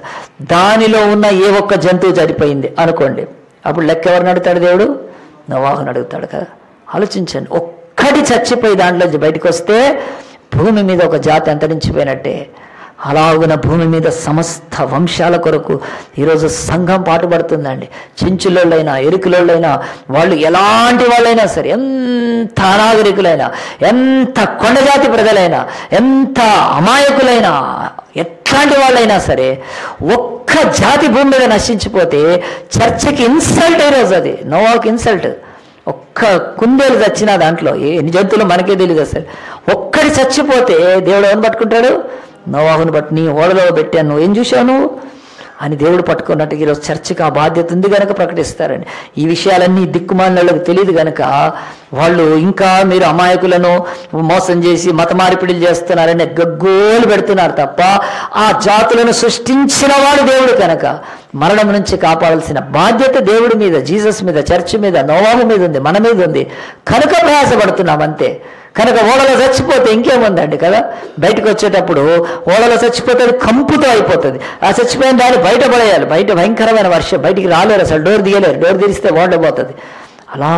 ఈరోజు దేవుడు మనకిచ్చిన ప్రతి బిడ్డను కాపాడటంలో మన బ్రతుకు ఆ యొక్క అరారత్ కొండల మీదకి వచ్చేస్తుంది. వన్ ఇయర్ దాటిపోయిందండి. అప్పుడు ఇక వర్షం తగ్గిపోయింది. బయటకు వద్దామనుకున్నాడు భూమి నీళ్ళతో నిండింది. బయటికి రావడానికి వీల్లేదు. భూమి నీళ్ళతో ఉంది. నీళ్ళు ఇంకుతున్నా ఇంకుతున్నా ఇంకుతున్నా ఇంకి ఇంకి ఇంకి ఇంకి. చివరికి అతడు ఏం చేశాడంటే తన కప్పు తీసి ఒక పావురాన్ని వదిలిపెట్టాడు ఒక కాకిని వదిలిపెట్టాడు. అది పోయి తిరిగి వచ్చింది తర్వాత. అది పోయింది వెళ్ళిపోయింది తర్వాత పావురాన్ని వదిలిపెట్టాడు. అది పోయి మళ్ళీ వచ్చింది. రెండోసారి వదిలిపెట్టాడు. అది చక్కగా మరి ఓలివ మొక్కను తీసుకొచ్చింది. ఆహా ఇక మంచిదని చెప్పి ఆయన ఓడలోంచి బయటకు వచ్చాడు. చూడండి వాక్యం ముగిస్తుంటే దేవుడు చెప్తున్నాడు నీ విషయాలన్నీ గమనించి. ఈ నోవాహు ఓడకి చర్చికి ఈ నోవాహుకి మనకి ఈ జంతువులకి మనకిచ్చిన పరిచర్యకి దేవుడు ఎన్నో పోలికలు రాసిపెట్టి కథను మనకి ఇంత భద్రంగా పెడితే దీన్ని మనం చూచి నేర్చుకోవాల్సిన ఒక బలమైన ఆత్మీయ పాఠము. ఎనిమిదో అధ్యాయంలో కిందికి వచ్చేస్తే బైబిల్ చెప్తుంది ఆ యొక్క పద్దెనిమిదో వచ్చిన కాబట్టి నోవాహును అతనితో కూడా అతని కుమారులు అతని భార్య అతని కూడా బయటికి వచ్చిరి. లోపలికి వెళ్ళిన ప్రతి వాళ్ళు బయటకు వస్తారండి. దీన్ని మీరు వేరే వేరే రకంగా అనుకున్నా కానీ మనం మరణంలోకి వెళ్ళినా మళ్ళీ బయటకు వస్తాం. అది పునరుత్థానం గనక. ఇప్పుడు ఈ యొక్క నోవాహు రెండు ప్రపంచాలను చూస్తున్నాడు. తనకు జలప్రళయానికి ముందు ప్రపంచము పాపముతో శాపముతో దిక్కుమాలితో మనుషులు తమ మార్గాలు జరిపించుకొని బలాత్కారంతో బతుకుతున్న ఆదాన్ని చూశాడు. ఇప్పుడు ఎవరు లేని నిర్మానుష్యమైన భయంకరమైన ఎడారిలాగా లేకపోతే మానవులు ఎవరూ లేని భూమిని కూడా ఆయన చూశాడు. ఇప్పుడు బయటకు వచ్చాడు చెప్పిన తర్వాత పంతొమ్మిది వచ్చి ప్రతి జంతువు ప్రతి ప్రాకు ప్రతి పురుగు ప్రతి పిట్ట భూమి మీద సంచరించినవన్నీ వాటి వాటి జాతుల చెప్పున ఆ ఓడలో నుండి బయటికి వచ్చాను. అవి కూడా బయటకు ఇంకా ఓడలో ఉండాల్సిన పని లేదు. మనం కూడా ఎప్పుడు చర్చిలో ఉండాల్సిన పని లేదండి. ఈ చర్చి మినిస్ట్రీ అయిపోయాక దేవుడు ఇంకా మహిమకరమైన దాంట్లోకి ఇవ్వబోతున్నాడు. మనకు స్వాస్థ ఇవ్వబోతున్నాడు. ఎప్పటికీ కూడా ఉండం మనం దీంట్లో నుంచి ఒకరోజు మనం దేవుడు మనకు విడుదల ఇస్తాడు. లేకపోతే అంటే ఆ క్షేమకరమైన మహిమకరమైన స్థితి తీసుకెళ్తాడు కనుక బయటికి వచ్చినప్పుడు బైబిల్ అంటది. అప్పుడు నోవాహు యహోవాకు బలిపీఠం కట్టి పవిత్ర పశువులన్నింటిలో పవిత్ర పక్షులన్నింటిలో కొన్ని తీసి కొన్ని ఆ ఆ యొక్క పీఠం మీద దహన బలి అర్పించను. గట్టిగా చెప్పలు కొడదామండి. బైబిల్ అయితే చెప్తుంది. నోవాహు తన జీవితంలో ఇక్కడ ఓడ బయటికి రాకముందు దేవుడు దర్శించి మాట్లాడి చెప్పి ఏమీ చెప్పలేదు. ఓడ బయటకు వచ్చిన తర్వాత కూడా దేవుడు ఏమి డైరెక్షన్ ఇవ్వలేదు. ఓడ బయటకు వచ్చిన తర్వాత ఎటు పోవాలో దేవుడు చెప్పలేదు. ఏమి చెయ్యాలో చెప్పలేదు. మరి అతని యొక్క జీవనోపాధి విషయమై దేవుడు ఏం మాట్లాడలేదు. సైలెంట్ అండి దేవుడు. అంతే ఆయన వదిలేశాడు నోవాహు దేవుడు కూడా మనల్ని కూడా చాలాసార్లు ఆయన గొప్ప పనులు చేసినాక మళ్ళీ ఆయన పనులు ఇలాగు నేను ఇలాగున రావాలని ఏం చెప్పడండి. ఎందుకనంటే చూడండి మీరు ఏదైనా ఒక హాల్లోకి ఒక సినిమా థియేటర్ కానీ లేకపోతే ఒక స్టేడియంలో కానీ ఎక్కడైనా వచ్చినప్పుడు దాని లోపలికి వెళ్ళేటప్పుడు ఏం చేయాలంటే ఆ యొక్క గేట్లోంచి వెళ్ళే ఒక టికెట్ ఉంటుంది. ఒక టికెట్ ఉంటుంది. ఆయన రాంగ్ గేట్లోకి వెళ్తే ఈ గేట్లో రాదు. ఎందుకంటే ఇక్కడ ఉండే స్టాండ్స్లో నువ్వు కూర్చోలేవని చెప్పి వేరే గేట్లోంచి వెళ్ళమంటారు. అంటే మనం వెళ్ళటానికి ప్రవేశించడానికి పని చేయటానికి ఒక్క టికెట్ అది పర్టికులర్గా ఉంటే అక్కడికే వెళ్ళాలి. కానీ మీరు ఆలోచించండి స్టేడియంలో మ్యాచ్ అయిపోయింది ఇంకేదో థియేటర్ లేదు అయిపోయింది. ఆ తర్వాత నిన్ను ఇటు నుంచే వెళ్ళమని చెప్తారా? లేదా ఎటంటే అటు వెళ్ళిపోవచ్చు. ఎటంటే అటు వెళ్ళిపోవచ్చు. వేరే పద్ధతి ఏమి నియమమే ఉండదండి. దేవుడు కూడా తన బిడ్డలు చేసిన ఒక మంచి పని తర్వాత ఇంకా వాళ్ళని ఏదో డైరెక్ట్ చేయడండి. దేవుడు ఫ్రీడమ్ ఇస్తాడు. నువ్వు ఎలాగైనా వెళ్ళొచ్చు కనుక. అలాగున్న నోవాహుకు ఏమీ చెప్పలేదంటే దేవుడేం మొదలుపెట్టలేదండి. అతడు పని పూర్తి చేశాడు కనుక భూమి మీద అతని యొక్క పనిని దేవుడు ఇన్ని వేల సంవత్సరాల తర్వాత యేసు గుర్తించి మాట్లాడుతున్నప్పుడు మనం ఇవంతా మాట్లాడుకుంటే ఆ యొక్క సంఘాలు ఎదిగిన సంఘాలు ఇక్కడ దాకా వచ్చి ఇంకా ఒక నిషయాన్ని నేర్చుకుంటాయి అదేమిటంటే దేవుడు తను ఆ చల్లటి భూమి చల్లటి వాతావరణము తడిసిపోయి భూమి దాదాపు ఆ యొక్క పనికి రాకుండా అయిపోయినప్పుడు ఓలివ మొక్క వచ్చిందంటే దేవుడు మళ్ళీ భూమి మీద ఈ యొక్క వృక్ష జాతిని జంతు ఆ యొక్క చెట్ల జాతిని మళ్ళీ ఇస్తున్నాడు నీకు ఆహారం ఉంటుందని చెప్తూ పంపించినప్పుడు అతడు బయటికి వెళ్ళి తన ముగ్గురు కుమారులను పిలిచి ఇటు నుంచి ఒక కోసు దూరం ఇటు నుంచి ఒక మైలు దూరం ఇటు నుంచి ఒక కిలోమీటర్ దూరము మీరు ముగ్గురు కదా పొండి. పోయి అక్కడ ఎక్కడ మనము ఒక బావికి నీళ్ళు దొరుకుతాయో ఆ నీళ్ళు. లేకపోతే పొలము సేద్యం చేయడానికి ఏదైనా ఉందా? తోట వేయటానికి ఏమైనా ఉందా? అక్కడ ఏమైనా చక్కగా షెల్టర్ వేసుకోవడానికి ఏమైనా ఉందా? చూసి రండి అటువైపు వెళ్దామని చెప్పి ఏమి చెప్పలేదండి. ఎందుకంటే వాళ్ళ యొక్క పడవ ఆగింది అరారత్ కొండ మీద. సో కొండ మీద నివసించడం అయితే కష్టం కనుక వాళ్ళు మైదానంలోకి లోయలేకపోవాలి అలాంటప్పుడు బైబుల్ నోవాహును చూపించి నోవాహు ఇలాంటివి ఏమీ చేయలేదండి. అతడు ఫస్ట్ చేసింది షెల్టర్ కాదు ఆల్టర్. బలిపీఠాన్ని కట్టాడు. ఆ బలిపీఠాన్ని కట్టి పవిత్రమైన పక్షులు అతనికి తెలుసు. అప్పటికే వాటిని తీసుకొని బలి అర్పించాడంటే నోవాహులో ఏమి కనిపిస్తుందో ఈరోజు నేర్చుకోవాలండి మనం. ఖచ్చితంగా అతని జీవితంలో ఒక కమిట్మెంట్ కనిపిస్తుంది. ఒక నిబద్ధత కనిపిస్తుంది అండి ఏంటో తెలుసా? వర్షిప్లో నిబద్ధత ఆరాధనలో నిబద్ధత. ఎంత కమిట్మెంట్ అంటే తను వచ్చి ఫస్ట్ బలిపీఠం కట్టాడండి. ఎందుకంటే నాకైతే నేను బైబిల్లో ఊహించే కానీ లేకపోతే మనం దానికి ఏం కలిపేది లేదు బైబిల్లో కానీ అనుకోవచ్చు తప్పులేదు బహుశా బలిపీఠము ఓడలో కట్టడానికి ఛాన్స్ ఉంటుందా? ఉండదు వాళ్ళు ప్రార్థన చేసి ఉంటారు. బలిపీఠం అంటేనే రాళ్ళు పెట్టి కట్టాలి. దాని మీద కట్టెలు పెట్టాలి. దాని మీద పశువును రక్తంతో వధించి అర్పించాలి ఓడలో ఆయన ఒకవేళ రాళ్ళు తీసుకుపోయి కట్టి దాని మీద కట్టెలు పెట్టి పెడితే ఆ తర్వాత ఓడ అంటుకొని పోతే ఫైర్ యాక్సిడెంట్ అవుతుంది ఓడలో. నోవో కథ వేరుగా ఉండేది మనకి. అలాంటి ఎర్రి పని పిచ్చి పని చేయలేదండి. సో మనం కూడా చాలాసార్లు ఈ యొక్క వర్షిప్కి కమిట్మెంట్ అయినప్పుడు ద ఫస్ట్ ఛాన్స్ అనేది యూజ్ చేసుకోవాలి. అది కమిట్మెంట్ ఉన్న వాళ్ళే చేస్తారు. కనుక ఓడలో నోవాహు ఆయన వర్షిప్ చేయటానికి వీలు పడకపోయి ఉంటుంది కనుక దహన బలిని ఆయన బయటికి వచ్చి అర్పించాడంటే ఓడలోకి వెళ్ళిన తర్వాత ఓడలో కాపాడబడిన తర్వాత అంతా అయిపోయింది కనుక ఇంకెందుకు భక్తి? అని బయటకు వచ్చి తన ఇష్టానుసారంగా ఉండలేదు కానీ తను వర్షిప్లో ఎంత కమిటెడ్ అయి ఉన్నాడంటే అతడు వెంటనే దేవుణ్ణి ఆరాధించాడండి. ఈరోజు మన బ్రతుకుల్లో ఈ కమిట్మెంట్లో నేను మూడు సంగతులు చెప్తాను. మొదటిది వర్షిప్ గుర్తుపెట్టుకోండి.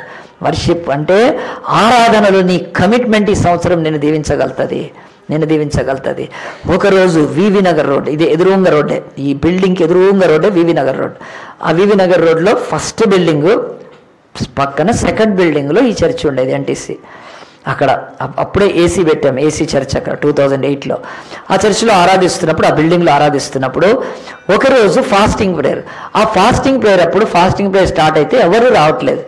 ఎందుకు రావట్లేదు అంటే ఫాస్టింగ్ అని భయపడి రావట్లేదా? లేకపోతే కాదు కొద్దిసేపటికి మాకు తెలిసింది ఏంటంటే సిటీ బంద్ ఉంది ఆ రోజు. సిటీ ఎందుకు బంద్ ఉందంటే అప్పుడు మన యొక్క ఆంధ్ర తెలంగాణ బాగా ప్రేమించుకోవడం మొదలుపెట్టారు. మోర్ లవ్ మోర్ లవ్ అని పాట పాడుకుంటున్నారు. ఆంధ్ర వాళ్ళు నిన్నే ప్రేమిస్తారని చెప్పి ఆంధ్ర వాళ్ళు తెలంగాణ వాళ్ళను బాగా ప్రేమించుకుంటున్న కాలం అది. అంతా తెలంగాణలో స్ట్రైకులు అవుతున్నాయండి. ఎప్పుడు పడితే అప్పుడు బంద్ అయిపోయినాయి. పెద్ద పెద్ద షోరూముల అద్దాలే పగలగొట్టారు కనుక అది నేను ఏదో స్వాతంత్రం బిఫోర్ ఏం చెప్పట్లేదండి. అట్లా చూస్తున్నారు నన్ను. అది మొన్న జరిగింది. అందరం తిరిగాం కదండి. ఎన్ని బస్సులు పగిలిపోయినాయి ఎంత పగిలిపోయింది? వెయ్యి మంది తెలంగాణలో ఏమంటారు? ఆహుతి అయిపోయారు బలిదానాలు బలిదానాలు కదా? ఇటు ఉస్మానియా కానీ అటు కాకతీయ కానీ రగులు కోనిపోయినాయి కదా? ఇటు చూసినా కదా? కదా తెలంగాణ ఉద్యమాలు పొద్దుద్దని పాటలు పాడుతూ ఉంటుంటే అంత అయిందండి. అదే టైంలోనే ఇది మరి. ఎవరు ఫాస్టింగ్ ఎందుకంటే ఆ రోజు బంద్ పెట్టారు. బంద్ ఇస్తా పోయారండి ఆ రోజు.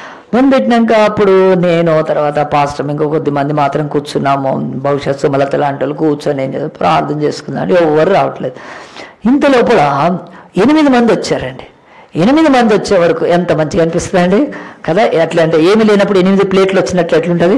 అట్లా అనమాట అయ్యో ఎంత సంతోషంగా ఉందని ఆ తర్వాత ఇంకా అట్లా అట్లా వచ్చారు. మొత్తానికైతే ఆ నంబర్ ఆ చిన్న చర్చికి ఇట్స్ ఓకే. ప్రేయర్కి మాత్రం అంతమంది పర్వాలేదండి. ఎందుకంటే ఒక్కొక్కరు ఒక్కొక్క అంశం చేసినా పాటలు పాడినా కానీ ఒక ఎనిమిది మంది మేము ఒక నాలుగు పన్నెండు పదిహేను మంది అయ్యారు. ఆ తర్వాత ఆ యొక్క వచ్చిన వాళ్ళని అడిగామండి. మీరు ఎట్లా రాగలిగారు? అని చెప్తే అని చెప్తుంది అనమాట చాలా ప్రాబ్లంతో వచ్చాం కానీ వాళ్ళు వచ్చారండి. చాలా వాళ్ళు వచ్చిన వాళ్ళంతా ఆడపిల్లలండి. మగపిల్లలు కాదు. మగపిల్లలు ఎక్కువ దాక్కుంటారు. ఆడపిల్లలు బయటకు వచ్చారండి. వచ్చినప్పుడు వాళ్ళు బిఎన్ రెడ్డిలో ఉంటారు. బిఎన్ రెడ్డి నుంచి దిల్షనారికి రావడానికి ఒక రెండు ఆటోలు అయినా మారాలి. మారితే ఆటోలు ఆ రోజు కొడుతున్నారండి. పెట్టి అద్దాలు పగలు కొడుతున్నారు కొడుతున్నారు. అయినా వాటికి ఒక సెవెన్ సీటర్ ఆటో పట్టుకొని ఎక్కి అది చేసి కొంత దూరం నడిచి వచ్చారండి అప్పుడు నాకు అనిపించింది ఎంత కమిట్మెంట్ అండి. ఆ యొక్క బిడ్డ ఎవరూ కాదు మన వైఆర్ ప్రవీణ్ వాళ్ళ అక్కండి అనిత. మహాభక్తురాలు ఆమె ఇప్పుడు. సులూరుపేటలో ఉంది. వసంత్ అనే అబ్బాయిని పెళ్ళి చేసుకొని వాళ్ళని హాస్టల్లో చాలామందిని తీసుకొచ్చిందండి ఆ రోజు. తను ఇక్కడ ఫార్మసీ చేసేది ఎం ఫార్మసీ. అని తను ఈరోజు పేరు గుర్తుపెట్టుకొని చెప్తున్నానండి అసలు. కమిట్మెంట్ ఈరోజు ఫాస్టింగ్ ఆదివారం కూడా కాదు ఫాస్టింగ్ ప్రేయర్కి వెళ్ళాల్సిన పని ఏముంది ఆడపిల్లలు బస్సులు లేవు ఆటోలు లేవు ఏమీ లేవు బయటకు వస్తే స్ట్రైక్ నడుస్తుంది ఇబ్బందిగా ఉంది పోతే చిక్కుకొని పోతాము అవి ఏమీ లేవండి. ఎంత కమిట్మెంట్ అండి. నేను ఎంత సంతోషపడ్డాను. ప్రభావిలలో ఎంత కమిట్మెంట్ ఉంది. ఈరోజు ఈ ప్రేయర్కి రా వెళ్ళాలంతే ప్రార్థనకు. బతుకులో ఎంత మందికి కమిట్మెంట్ లేదండి అసలు. వర్షిప్ కమిట్మెంట్ లేదు కనుక మనం దేవుడి ఆరాధనకి వెళ్తే వెళ్దాం అయితే కదా పోతే పోదాం చేస్తే చేద్దాం ఉంటే అయిపోదాం కదా. ఇప్పుడు హాలిడేస్ వచ్చినాయి సగం మంది పోయారు కదా. ఆ యొక్క కోడి పుంజులు దానికి. పోయారు ఏం చేస్తాం కదా? పోతారు ఊర్లకి. ఎప్పుడు కూడా కమిట్మెంట్ లేదండి. ఆదివారం పెళ్ళి సంబంధాలకు వెళ్ళే వాళ్ళు ఉన్నారు. అవి శాపాన్ని వేరు తెచ్చుకుంటారు అగ్నిని వేరు తెచ్చుకుంటారు దేవుడి గుండె మండిపోదండి. ఆదివారం ఫంక్షన్స్ అయితే వేరే వాళ్ళ ఫంక్షన్స్కి ఇచ్చే ఇంపార్టెన్స్ ఈ ఆరాధనకి ఇవ్వరండి ఒక్కసారి యేసు సిలువలో ఎంత రక్తం గారిస్తే మనం రక్షణ పొందామండి. ఆలోచించండి ఒకసారి ఈ నోవాహుకి ఏం పనిందండి? ఇప్పుడు భూమి తడిసిపోయింది రాళ్ళు దొరకవు కట్టెలు పెట్టలేము బలి అర్పించడానికి ఉన్నవే కొద్ది పశువులు పక్షులు. నాకెందుకు ఇప్పుడు ఆరాధన అనుకోలేదు? ఆ వర్షిప్ కమిట్మెంట్ అనేది ఆలోచించండి. ఈరోజు మన బ్రతుకులో ఇంకా మనం బలహీనులుగా అనేక వాటిలలో జయం ఎందుకు లేదంటే we have no commitment in the worship దేవుణ్ణి ఆరాధించడంలో లేదండి ఆరాధించడం లేదు. అదిగా ఎవ్వర వాళ్ళనండి అనిత కానీ అమ్మాయి. వయసులో ఉన్న పిల్లలు ఎక్కడ తిరగచ్చు ఎవరితో ఫోన్లు మాట్లాడుకోవచ్చు? ఏ పార్కుల్లో ఏ ఆ యొక్క మాల్స్లో తిరిగే పిల్లలు ఆ ఏజ్లో? కానీ ఆరాధనకి వెళ్ళాలనుకోవడం ఏంటండి అది? గ్రేట్ కమిట్మెంట్ గుర్తుపెట్టుకోండి. ఈరోజు నువ్వు ఆరాధిస్తున్నావా? నీ కమిట్మెంట్ ఎట్లా ఉంది కదా? కదా చిన్న ఆ యొక్క ఆరాధనకి వెళ్ళటానికి చిన్న ఆటంకం వస్తే చాలు. వదిలేసేస్తే బైబిల్ చెప్తుంది నోవాహు యొక్క బ్రతుకులో ఆయన ఓడలోంచి బయటికి రాగానే ప్రారంభించింది. ఏంటంటే వర్షిప్ కనుక. దేవుడు ఆయన వర్షిపు ఆరాధన కంటే ఇంకా ఆయన గెప్పు సంతోషపడడు. కనుక దేవుడు తబ్బి భయపడాడండి పరలోకంలో ఆయన. ఎంత తబ్బి భయపడాడంటే చెప్పి చేసి ఇచ్చుకుంది కాదు. న్యాచురల్గా చేశాడు కమిట్మెంట్తో చేశాడు. కనుక బైబిల్లో ఒక మాట ఇక్కడ ఉన్నట్టు ఎక్కడ లేదండి. అప్పుడు యహోవా ఇంపైన శ్వాసన ఆగ్రహించి అంటే ఆయనకి ఏదో ముక్కుల్లోకి మంచి అత్తర్ లాంటి వాసన కాదు అక్కడ. మానవుడి హృదయము వర్షిప్కి తప్పించేది. మానవుడి గుండె వర్షిప్ చేయటము అది దేవుడికి పైన సువాసన. ఎంత కమిట్మెంట్ కనుక ఎంత కష్టమని ఎంత బాధన ఎంత వేదనున్నా ఆయన ఆగ్రహించి ఆయన అంటారు చూడండి ఇక మీదట నరులను బట్టి దేవుడు అప్పుడు డిసిషన్ తీసుకున్నాడండి. అప్పట్లోనే దేవుడు వాక్యం అప్పుడు అంటున్నాడు ఇక భూమి మీద నేను ఇలాంటి మరి శపించను మనుషులంతా బాల్యం అంటే చెడ్డవాళ్ళు. పర్వాలేదు కానీ నోవాహు లాంటి వాళ్ళని బట్టి నేను సంతోషిస్తున్నాను.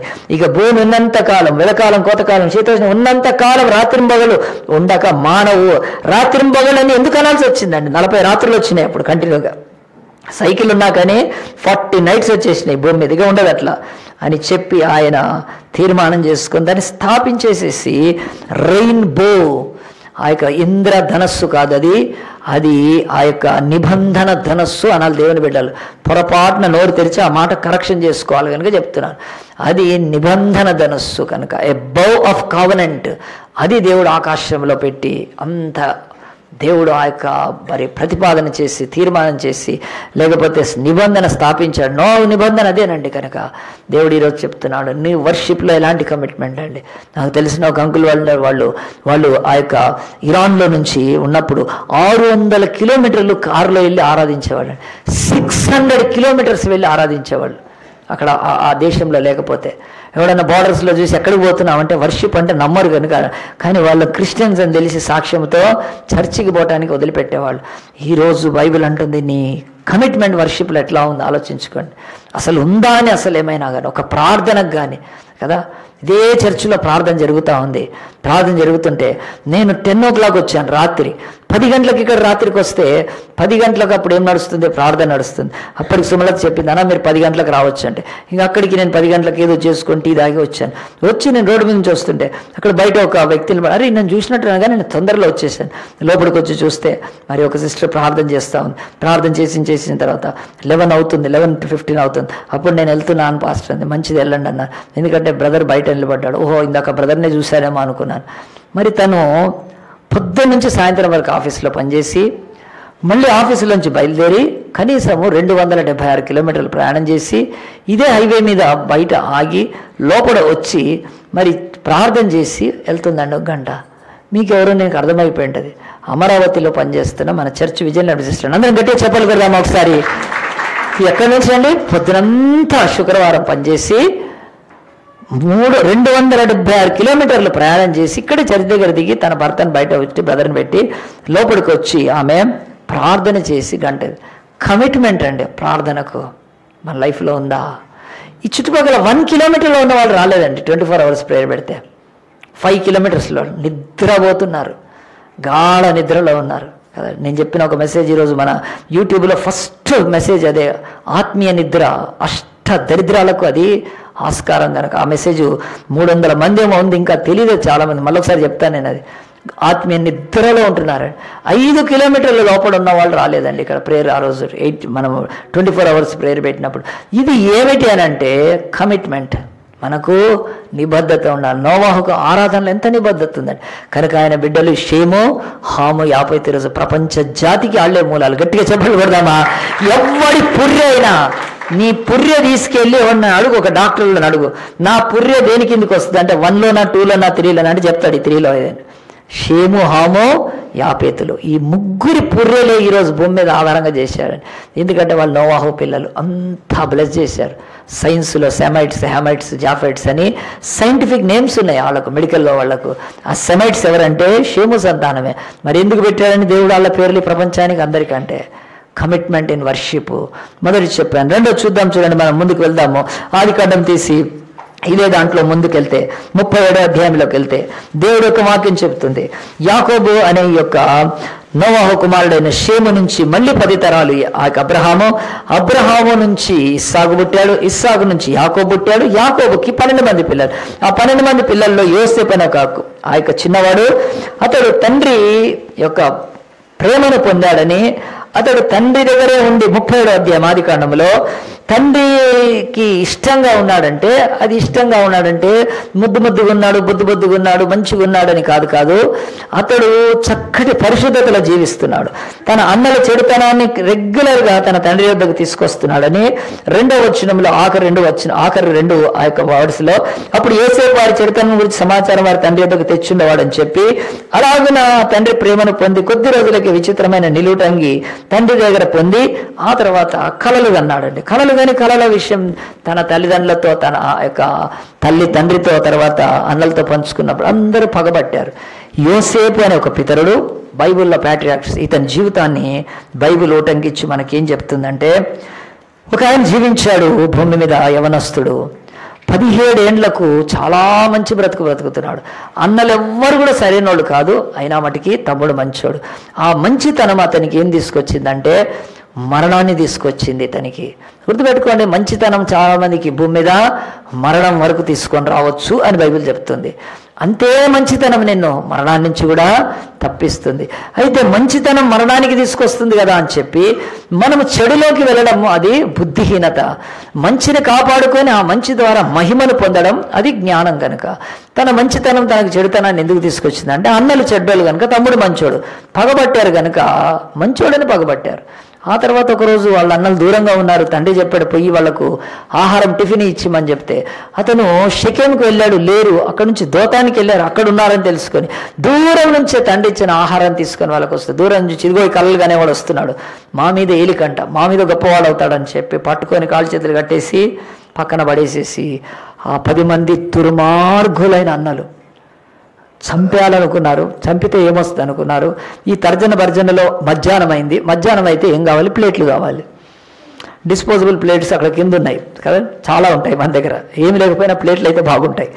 చాలా ప్లేట్లు. కనుక అలాగే ప్లేట్లు పెట్టుకొని కూర్చున్నారండి వాళ్ళు. ప్లేట్లు పెట్టుకొని కూర్చొని భోజనం చేస్తున్నారు. బట్టలిప్పి గుంతలో పడేసిన తమ్ముడు ఆకలితో ఉన్నాడు. అయినా వాటికి వాళ్ళకు కనికరం పుట్టలేదు. ఆ దుర్మార్గులకు అన్నలకు తిన్నారు తిండి మంచిగా తిన్నారు.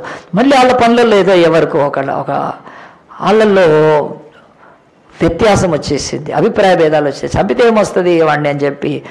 మరి చంపకపోతే ఎట్ట తెలుస్తుంది అని చెప్తే సరే వాడి బట్టలు తీసేయండి దాన్ని ఒక పశువుని చంపి దాని రక్తంలో ఉంచి నాన్నకు పోయి చూపిద్దాం వాడిని ఏదో క్రూర మృగం చీల్చేసిందని వీడిని అమ్మేద్దామని సొంత తమ్ముడిని ఇరవై వెండాళ్ళకి అమ్మి పారేశారండి. ఇష్మాయిలకు అమ్మేసేసారు ఆ ఎత్తుకొని పోయి ఐగుప్తులో ఫోతిఫర్ అని ఆయనకు అమ్మేశారు. ఫోతిఫర్ ఇంట్లో బానిసగా పెట్టేసేసారు బానిసగా బ్రతుకుతూ ఉన్నప్పుడు అతను అంచెలంచెలంచెలు పెరిగాడు. అతని జీవితంలో బైబిల్ చెప్తుంది ఇంట్లో మంచివాడుగున్నాడండి. ఆ తర్వాత ఫోర్టీ ఇంట్లో మంచివాడు ఉన్నాడు. ఎంత మంచిగా ఉన్నాడంటే మంచి పని చేస్తున్నాడు అతను. అతడు కుమిలి ఏడ్చి దుఃఖపడి అతడు పాపంలో పడిపోలేదు కానీ నాకు ఎవరు సహాయం లేకపోయినా నేను ముప్పై తొమ్మిది అధ్యాయం తీస్తే అతన్ని దేవుడు చెప్తున్నాడు అంచెలంచెలు అంచెలు అతను ఎంత దీవెన పొందాడండి? దేవుడు వాక్యం చెప్తుంది అతడు పని విషయంలో నీతి విషయంలో మంచితనం విషయంలో శ్రద్ధ విషయంలో కష్టపడే విషయంలో దేనిలో కూడా అతను తక్కువగా చూడండి. అన్నిట్లలో మంచిగా ఉన్నందుకు దేవుడు యొక్క వాక్యము మంచి మాట చెప్తుంది. ఐదో వచనం ఆరో వచనం అతడు అంటే ఆ యొక్క ఫోతిఫర్ అనే ఆ ఇంటి యజమాని తనకు కలిగినదంతా యోసేపు చేతికి అప్పగించి వారు ఆహారం తినడం తప్ప తనకి ఏమి ఉన్నదో ఏమి లేదో విచారించేవాడు అని చెప్పి యోసేపుకు ఇంటిని మొత్తం అప్పచెప్పాడండి. అంటే నమ్మకత్వం ఉంది కష్టపడే తత్వం ఉంది నిజాయితీ ఉంది అంతేకాదు ఇవన్నీ ఉంటే కూడా ఎవడు పెద్దగా పైకి పోడండి. నేర్చుకునే ఆ యొక్క పద్ధ అడాప్టివ్నెస్ అంటారు. ఇది కూడా చాలా ఇంపార్టెంట్ అతడు ఇంటిలో ఈ పనులన్నీ చేయలేదండి. చాలామంది ఈరోజు ఏం చేస్తారంటే ఏది అప్డేట్ చేసుకోకపోయినా ఫస్ట్ సాఫ్ట్వేర్ అప్డేట్ చేసుకుంటుంది టూ పాయింట్ జీరోనా నా? Three point zero three point zero మాది ఇంకేది టెన్ పాయింట్ ఇక పాయింట్లు ఏడున్నాయి అక్కడ.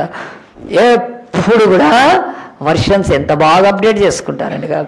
ఫ్యాషన్ అప్డేట్ అయితే ఇట్లా తీయాలా ఇట్లా తీయాలా కదా ఫుల్ కదా ఇది ఎట్లుండాలి స్టిచ్చింగ్? ఇట్లుండాలి. అన్ని అప్డేట్ అండి. చెప్పులు ఎట్లుండాలి మూత ఎట్లుండాలి ముక్కు ఎట్లుండాలి అన్ని ఎట్లుండాలి డ్రెస్ ఎట్లు అన్నీ అప్డేట్ కానీ బతుకులో ఒక టాలెంట్ అభివృద్ధి పరచుకోరండి ఎక్కడేసిన వాళ్ళు అక్కడే ఉంటారు అసలు. ఎన్నేళ్ళైనా ఒకటి నేర్చుకోవడం అనేది ఉండదు అసలు. చాలా బాధపడతామండి. కంజరు కొట్టడానికి రాదు ఎంతోమందికి. ఎందుకంటే ఎవడైనా వీళ్ళు చప్పట్లు కొడితే వాళ్ళు కంజరు ఎరగొడతారు ఏం అప్డేషన్ లేదండి. కదా మన ఇంటిలో ఉంటే ఇప్పుడు కదా వన్ ఎయిటీ లీటర్స్ ఫ్రిడ్జ్ ఉంటే టూ నైంటీకి వెళ్ళాలి డబల్ డోర్కి త్రిబుల్ డోర్ అయితే మనం పోయి కూర్చోవచ్చు ఇక దాంట్లో. అన్నీ ఉండాలండి కదా. అప్డేట్ కదా ముప్పై రెండు ఇంచుల టీవీ ఉంటే నలభై మూడుకి వెళ్ళాలి. కానీ బతుకులో ఒక్కసారైనా నేను కన్ఫెషన్ సాంగ్ పాడలేను. నేను స్థుతి సాంగ్ పాడతాను ఎప్పుడైనా చేసుకున్నారండి? దీంట్లో ఉంటాయి కదా. కనీసం క్షమాపణ పాట ఒక్కటి ఇక్కడ ఇచ్చి పాడమంటే పాడతారా? ఒక స్థుతి పాట పాడతారా? ఒక కృతజ్ఞత పాట. ఏమి లేదండి అంటే ఆత్మీయంగా విషయాల్లో లేవు. అంతేకాదు ఈ లోకంలో ఏ టాలెంట్ కూడా ఇది లేదు కదా.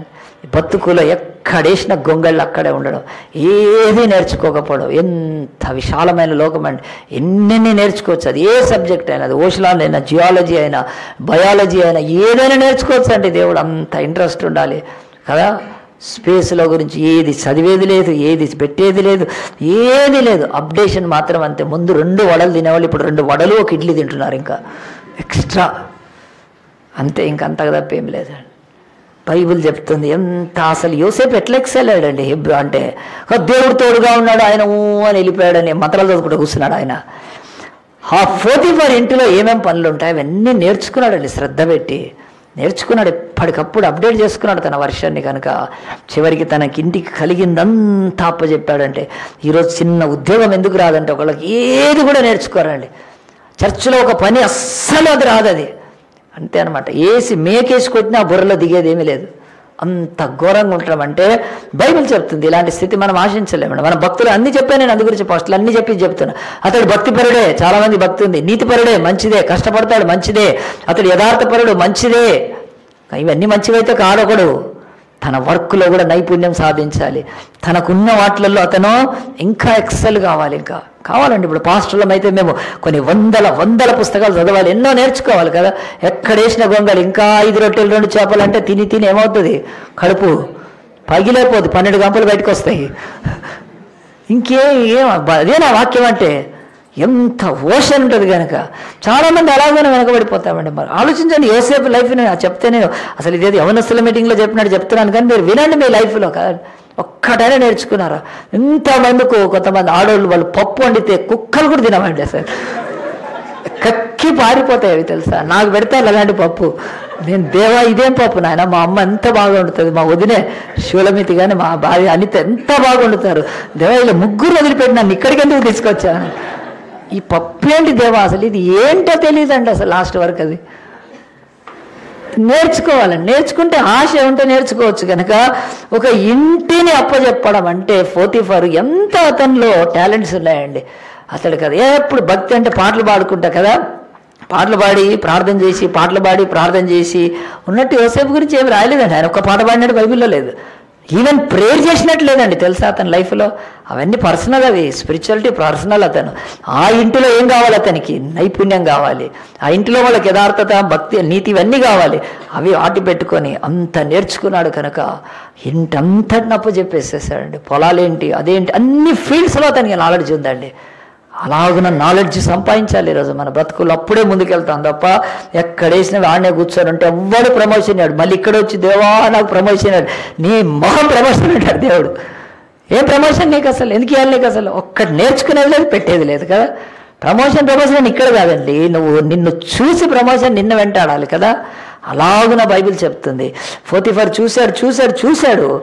ఇతన్ని కంటే ఎవరు గొప్పవాడు అని చెప్పి ఇంటిని మొత్తం అప్పచెప్పేశాడండి అట్లా మనకు ఇవ్వాలి పిలిచి ఇవ్వాలండి మనకు తెలుసా? మీరు మీరు చేయగలుగుతారు మంచిగా చేయండి అని మనకి ఇవ్వాలంటే మనం అంతా డెవలప్ చేసుకోవాలి కనుక. అలాగున యోసే బతుకుతూ ఉన్న గొప్ప స్థితికి వచ్చి అతను తన జీవితంలో గతించిన కాలాన్ని అంతా కూడా పక్కన పెట్టి కదా ఊరికూరికనే కదా కొంతమంది ఊరికూరికనే అలాగున వెళ్ళిపోతారు మబ్బుల్లోకి వెళ్ళిపోతారు. ఏంటంటే బ్యాక్గ్రౌండ్ కదా అలాగున్న రింగులు రింగులు రింగులు వెనక్కి వెళ్ళిపోతారు. అయ్యో అయ్యో అయ్యో అయ్యో కదా అక్కడ నాకు దోశలే దొరికింది ఇడ్లీ దొరకలేదని. పాత పాతవి చిన్న చిన్నవి చిన్న చిన్నవి పట్టుకొని ఏడుచుకుంటా కూర్చుంటారండి. అస్సలు ఇతడి జీవితంలో ఆ గతించిన కాలం అన్నలు అమ్మేసేసి అది ఎందుకు రాలేదండి? వర్క్ మీద శ్రద్ధ పెట్టాడు. వర్క్ నేర్చుకుంటున్నాడు. తను ప్రూవ్ చేసుకోండి. ఎవరు తప్పు చేసినా ద గాడ్ ఆఫ్ హెవెన్ నాకు తప్పు చేయడు. నాకు ఇచ్చిన కళ నెరవేరాలంటే అది ఎట్లా ఎట్లా నెరవేరుతాడో తెలీదు. నన్ను దేవుడు అధికారిగా చేస్తా అన్నాడు. సో కష్టపడుతూ ఉన్నాడండి. అందు గురించే మర్చిపోయాడు. నీ ముందున్న ఆ యొక్క ఆ టాస్క్ ఏదైతే గురిని దానికి వెళ్తూ ఉండు నీకు వెనుకున్నవన్నీ మర్చిపోతావండి. నేను పన్నెండు రెండు వారాల క్రితమే చెప్పాను కదా పా అపోసులైన పౌలు తిమోతితో అంటాడు కదా నేను వెనుకున్నవి మర్చి ముందున్న వాటి కొరకే వెగిరపడుతున్నాను. అది అది క్రైస్తవ స్వభావంలో ఎంత ప్రాక్టికల్ అంటే యోసేపు లైఫ్ దుర్మార్గుల అన్నల మీద అతను ఇంకేం పెట్టుకోలేదండి. ముందుకు వెళ్ళిపోయాడు వెళ్ళిపోయాడు వెళ్ళిపోయాడు వెళ్ళిపోయాడు. ఆ స్థితికి వచ్చినప్పుడు బైబిల్ చెప్తుంది అతని జీవితంలో ఇక్కడ జరగకూడని ఒక సంఘటన జరిగింది. ఆ యొక్క ఫోతిఫర్ భార్య ఆమె ఆ యొక్క యోసేపు రూపవంతుడని యోసేపును ఆశించి యోసేపుతో మరి వివాహం చేసుకోకున్నా కానీ సంబంధం పెట్టుకోవాలనుకున్నప్పుడు యోసేపును రోజు కూడా ప్రతిరోజు బాధిస్తుందని రాసిందండి. దినదినము దినదినం అని బైబిల్లో ఎంత మంచి మాట ఉందనంటే పదే వచ్చిన దినము దినము దినము దినము ఆమె యోసేపుతో మాట్లాడుచుంది కానీ అతడు ఒప్పుకోలేదని చెప్పిన. ఒక శాపగ్రస్తమైన పాపానికి మరి ఒడిగట్టిందంటే ఫోతిఫర్ భార్య. ఇక్కడ ఏముండొచ్చు? మనకు బైబిల్లో దేవుడు ఎందుకు రాసి పెట్టాడంటే నువ్వు ఎంత మంచిగా ఉన్నా ఎంత నీతిపరుడా ఎంత యథార్థగా ఉన్నా ఎంత భక్తిపరుడా ఎంత టాలెంట్ కలిగినా బైబిల్ చెప్తుంది. శోధన శోధకుడు నిన్ను వదిలిపెట్టాడు. గుర్తుపెట్టుకో. భూమి మీద పాపము లేకుండా లేకపోతే ఆ యొక్క జన్మ పాపము లేకుండా పుట్టిన యేసు ప్రభు ముప్పై ఏళ్ళ తర్వాత సేవలోకి వస్తున్నప్పుడు ఆయన బాప్తిసం తీసుకోగానే యేసు ప్రభుని ఎవరు శోధించారండి? అపవాది శోధి యేసు ప్రభువునే శోధించగలిగితే నిన్ను నన్ను ఎవరు శోధించకుండా ఊరుకుంటారు? ఇదిగో యోసేపు కూడా శోధన వచ్చింది. వెంటనే యోసేపు ఆ శోధనలో మంచి మాటలు చెప్తున్నాడు అతను. అతడు చెప్పిన మాటలు ఎంత మంచి మాటలు అంటే ఆ యొక్క ఆమె చెప్పినప్పుడు అతనిలో చూడు తొమ్మిదో వచనంలో నీవు అతని భార్యవు ఫస్ట్. నిన్ను తప్ప మరి దేన్నైనా నాకు అప్పగించాడు. నేను ఎట్లు ఈ ఘోరమైన పాపం చేస్తాను? మూడోది దేవునికి నేను విరోధంగా ఈ పాపం చేయలేను. అంటే తన జీవితంలో ఒక స్ట్రాంగ్ ఆ యొక్క బిలీఫ్స్ ఉన్నాయి. ఆ బిలీఫ్స్ అనేవి దాన్ని స్టాండర్డ్స్ అంటారు ఈరోజు దాని స్టాండర్డ్స్ని మోరల్స్ అంటారు. ఎన్ని అన్నా సరే బైబిల్కి మించి ఎవడు ఈ ప్రపంచంలో చెప్పలేడు. కనుక నీ లైఫ్లో స్టాండర్డ్స్ ఉంటాయి నీ లైఫ్లో మోరల్స్ ఉంటాయి నీ లైఫ్లో కూడా ఆ యొక్క ఎథిక్స్ ఉంటే నీ లైఫ్లో కూడా దేవుడి భయం ఉంటే దేవుడు అంటున్నాడు అది చాలా నిన్ను కాపాడుతుంది. అలాగున ఒకరోజు యోసేపు ఇంట్లో ఆమె లోపల ఉన్నప్పుడు వెళ్ళినప్పుడు పట్టుకుంది. ఆ తర్వాత తను వెంటనే యోసేపు పారిపోయాడండి. పారిపోయిన తర్వాత సాయంత్రం కల్లా పెద్ద పంచాయతీ పెట్టి ఆ యొక్క వాళ్ళ భర్త వచ్చినాక ఈ హిబ్రియుడు దాసుడు నన్ను ఎగతాళి చేయటానికి వచ్చాడని చెప్పి ఒక స్త్రీ పురుషుడి మీద వేసిన ఈ అపనింద అది బైబిల్లో ఘోరమైందండి. ఒక నీతిమంతుడు ఆ యొక్క ఏ పాపం చేయనివాడు పరిశుద్ధుడు మంచివాడై ఉన్న పరాయి దేశవాడైన ఈ యొక్క యోసేపు మీద చెడ్డ స్త్రీ ఏం చేసిందండి? అలాగ నిందేసింది.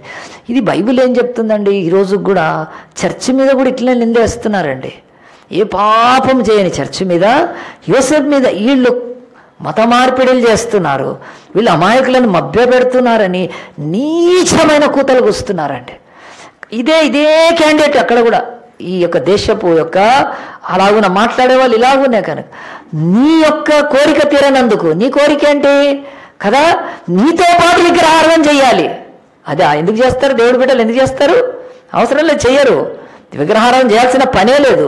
అవి ఎండి ఇత్తడి కర్ర కొయ్య మట్టి బొమ్మలు అవి వాటి మీద ఉమ్మూసినా తెలియదు పాలు పోసినా తెలియదు వాటికి. ఆ బొమ్మల్ని మేమెందుకు మొక్కాలి? కనుక మొక్కం కనుక వాళ్ళ ఆశ తీరట్లేదు కనుక ఇదిగో యోసేపు లాంటి పరిశుద్ధమైన సంఘం మీద నిందలేస్తున్నారండి నిందలేసి ఏం చేస్తారండి? ఏం చేయలేరు అంతే ఇంకా. ఆ దుర్మార్గ మాటలతో అదిగో అక్కడున్న అధికారం ఆ యొక్క భర్తను పిలిచి అప్పుడు అతడు మండిపడి ఏం చేశాడంటే ఆ పని ఖచ్చితంగా యోసేపు చేయడని తెలుసు కానీ మరి భార్య నువ్వు అందరి ముందు అవమానపరచకూడదని సామాజిక స్థితిని ఆలోచించే ఇది చేశాడు. నాకు తెలిసి నేను రీసెర్చ్ చేస్తా ఖచ్చితంగా దాన్ని వదిలిపెట్టి ఉంటాడు ఫోతిఫర్ అయితే. డైవర్స్ ఇచ్చే ఉంటాడు అసలు. కానీ యోసేపు ఎక్కడికి వెళ్ళిపోయాడండి? చెరసాలకి వెళ్ళిపోయాడు. చెరసాలకి వెళ్ళిపోయినప్పుడు అతనికి ఏమీ బాధ లేదు. చెరసాలలో రాళ్ళ మీద పండుకున్నాడు. పండుకొని అతను హాయిగా చెరసాలకు కూడా అధిపతి అయితే. ఇక్కడ బైబిల్ రెండవ ఒక విషయం మనకు చెప్తుంది ఈ సంవత్సరంలో. యోసేపు ఎందుకు పాపం చేయలేదు?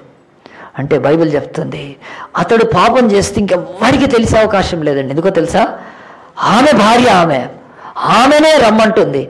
ఆమె ఇంకా యోసేపు కలిస్తే అసలు ఎవరికి తెలిసే అవకాశం లేదు. కానీ దేవుడికి తెలుసు కదండి. కళ్ళు ఇచ్చిన దేవుడికి తెలుసు కనుక. ఆయన పట్టుకుంటాడు కనుక దేవుడికి భయపడ్డాడు. రెండవది సమాజంలో అలాంటి స్థితి. హెబ్రిలంతా ఇలాంటి లుచ్చగాళ్ళని హెబ్రిలందరికీ మనకొస్తుంది ఆలోచించాడు. మూడవది నేను ఈమెను ఆశిస్తే దేవుడు నాకు సరైన బిడ్డని ఇవ్వడు. ఒక పెళ్ళిలో ఆశిస్తే నాకు ఒక మంచి స్త్రీని దేవుడు ఇవ్వడని నాకు వివాహం కావాల్సి వస్తే ఇవన్నీ పెట్టుకొని అతను ముందుకు వెళ్ళినప్పుడు ఇతని లైఫ్లో కనిపించే ఒక గ్రేట్నెస్ ఏంటో తెలుసా అండి? బైబిల్లో చెప్తుంది మొదటిది నేను చెప్పాను ఒక భక్తుడి యొక్క కమిట్మెంట్ వర్షిప్ ఒక యవనస్తుడి కమిట్మెంట్ హోలీనెస్ అండి. పరిశుద్ధత ఈరోజు. ఇతడి కమిట్మెంట్ అంటే నేను పాపం చేయకూడదు అది కమిట్మెంట్ కనుక అతడు డబ్బులో పాపం చేయలేదు ఇంటి వస్తువులో పాపం చేయలేదు పనిలో చేయలేదు ఆస్తిలో చేయలేదు అతడికి ఇచ్చే అధికారంలో ఎక్కడ పాపం చేయలేదండి. అయితే యవనస్తులకి ఇది ఏమి కన్సిడర్ కాదు దేవుడు చెప్తున్నాడు ఉంటారు కానీ యవ్వనస్తుడు శోధింపగలిగింది యవ్వన కాలంలో యవ్వన ఎచ్చల విషయంలో. ఆ యొక్క యోసేపు కమిట్మెంట్ ఏంటంటే నేను పాపం చేయకూడదు. ఈరోజు ఎంతమంది యవనస్తుల్లో ఉందండి ఇలాంటిది. ఎంత బలహీనంగా ఉంది ఈరోజు. ఆలోచించండి. నల్లపోచమ్మ టెంపుల్ సికింద్రాబాద్ దగ్గర. అది ఆ యొక్క బేగంపేట పక్కన ఉంటుంది. అక్కడ ఒక శవం పడి ఉందండి. ఆమె పేరు స్వరూప. కత్తితో పొడిచున్నారండి కత్తితో పొడిచి ఆడబడింది. నల్లపోచమ్మ టెంపుల్ ఆనే పడింది ఆమె.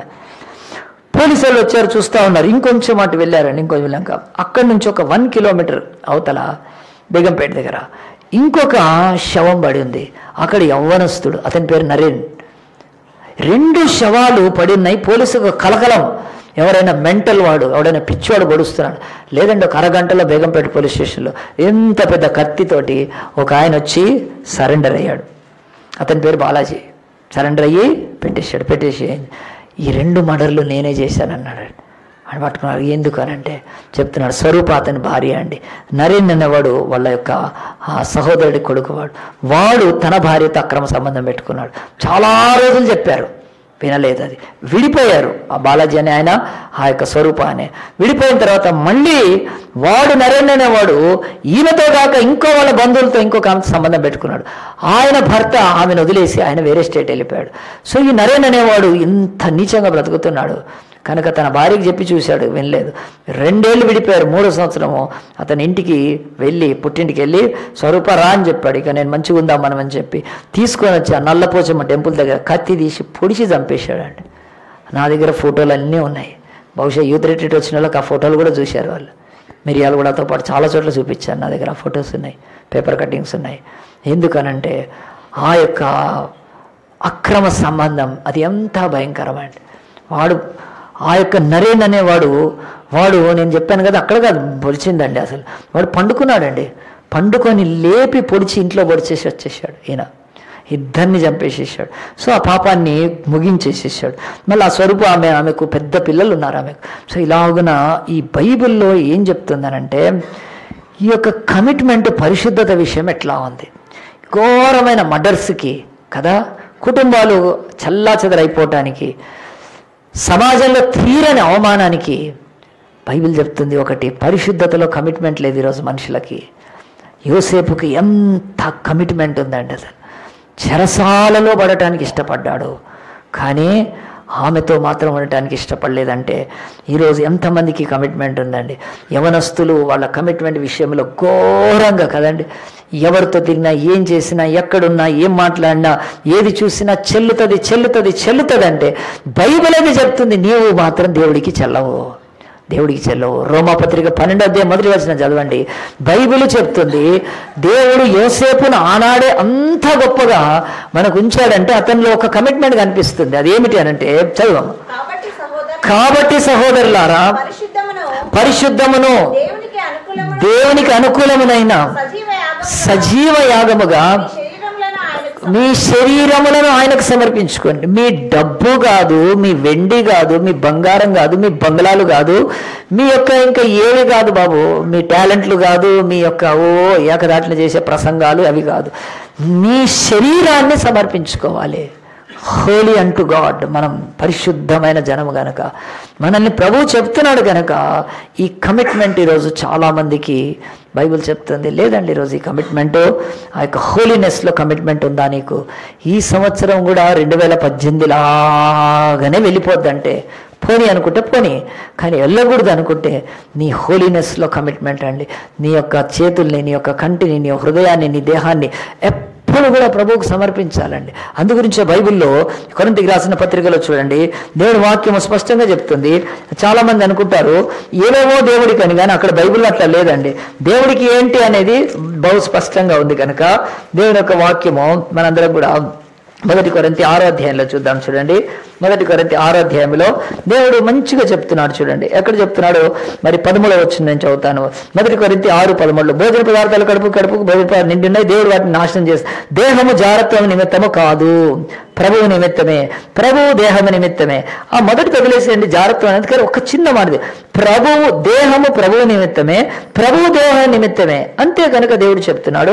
ఇంకా ముందుకెళ్తే దేవుడు ప్రభువుని లేపను కనుక అపవిత్రమైన మన శరీరాన్ని లేపుతాడండి? లేపడాడు కనుక మనలు కూడా తన శక్తి వల్ల లేపములు. మీ దేహాలు కదా మీ డబ్బు మీ వెండి మీ బంగారు మీ బిల్డింగులు కాదు. మీ దేహాలు క్రీస్తునకు అవయవులు అన్నాయి కనుక మీరు ఎరగరా. కనుక ఎవరైనా దేహాన్ని తీసుకొని వేష యొక్క అవయవంగా చేయబడతా క్రీస్తుతో కలుసుకున్న దేహమో మరి క్రీస్తుకు అయి ఉంటుంది. వేషతో కలుసుకున్న దేహమో వేషతో అయి ఉంటుంది అని చెప్పి దేవుడు అందు గురించే పద్దెనిమిదవ జారతమునకు దూరముగా అక్కడ రాసి పెట్టుకు యోసేపు వలె జైలుకు పారిపోండి. జైలు దాకపోయినా పర్వాలేదు. జైల్లో పడ్డా పర్వాలేదు అంటున్నాడు. దూరంగా పారిపోయాడు అని చెప్పి. మనుష్యుడు చేయి ప్రతి పాపము దేహానికి వెళ్ళిపట్టుంటది కానీ జారత్వం లైంగిక ఆ యొక్క అపవిత్రత చేరువాడు తన సొంత శరీరానికి హానికరంగా పాపం చేసుకొంచున్నాడు. మీ దేహం దేని వల్ల మీకు అనుగ్రహింపబడింది? ఎప్పుడు అనుగ్రహింపబడింది? అంతకుముందు అది సచ్చిన శరీరం అది. దాంట్లో నీతి లేదు భక్తి లేదు పరిశుద్ధత లేదు. యేసుడు తన రక్తం ఇచ్చి కడిగాడు గనుక ఆ రోజు నువ్వు భక్తి సంబంధించిన నీకు అనుగ్రహిస్తున్నాడు దాన్ని. మీలో ఉన్న పరిశుద్ధాత్మకు నిలయం చేస్తున్నాడని. మీరు ఎదగరా? మీరు మీ నీ సొత్తు కాదు అని చెప్పి నీ సొత్తు కాదంటే నీవు దేవుని సొత్తు. మళ్ళీ నీ కులము దేవుని సొత్తు కాదు. నీ కులం సొత్తు కాదు మీ అమ్మ నాన్న నుంచి వచ్చే బిల్డింగులు ఆస్తులు వెండి బంగ అవన్నీ ఆలవే వదిలేసేయి. నిన్ను మాత్రం రక్తం ఇచ్చి కొనుక్కున్నాడు కనుక నువ్వు నీ సొత్తు కాదు. కనుక నీవెన్నో ఉన్నాయి నీవు ఇంట్లో కూడా ఉంటాయి నీవు అవన్నీ అవన్నీ వాళ్ళవి అవి లోకస్తులే కానీ నీవు అవి దేవునివి కాదు. మీరు మీ సొత్తు కాదని చెప్పి విలువ పెట్టి కొనబడిన వారు ఏం విలువ? సిలువంత విలువ పెట్టి కొనబడిన వారు కనుక అంటున్నాడు మీ ఆత్మతో మీ మనస్సుతో అనట్లేదు. మీ దేహంతో కనుక బట్టలు సరిగేసుకోమని చెప్తున్నాడు. కదండి? కనీసము. చాలామంది రోజు క్రిస్టియానిటీలో ఎక్కువైపోయి ఆ దేవుడు పై రూపమును చూడడు బ్రదర్. మరి బట్టలు ఇప్పి రా సిస్టర్ వస్తావా? ఎట్లా వస్తావు నువ్వు? రాగలుగుతావా? ఏ ఆ మాట ఎట్లా వాడుతున్నారు? బైబిల్ ఎట్లా పడితే అట్లా వాడుకోవచ్చు? తప్పు కదా అది. దేవుడు అని చెప్పి అది ఎక్కడుంటుందో అడిగితే తెలియదు మళ్ళీ అది. అది అది ఎక్కడుంటుందో తెలియదు అది. అది వాళ్ళ పాస్టర్ కూడా తెలియదు ఎంత దరిద్రం అండి అది. ఆ యొక్క సమూహాలు ఎదుటికి యశ్వ కుమారులు వచ్చినప్పుడు దేవుడు చెప్పాడు. పెద్దోళ్ళని చూసి అమ్మేస్తే దేవుడు సమయాలు గద్దించాడు. మనుష్యుడు దేవుడు పైరూపం చూడాడు నువ్వు వాళ్ళని చూసి కాదు ఆ గొర్రెలు కాసుకుని అతన్ని అభిషేకించమంటే ముందుకు వెళ్ళట్లేదు అభిషేకించమని అతన్ని దేవుడు రాజేష్ ఆ కాంటెక్స్లో దేవుడు బాహ్య రూపాన్ని చూడడు అని చెప్తే ఇక్కడ బైబిల్లో అంటుంది మనము దాన్ని వాడుకోవచ్చా అండి?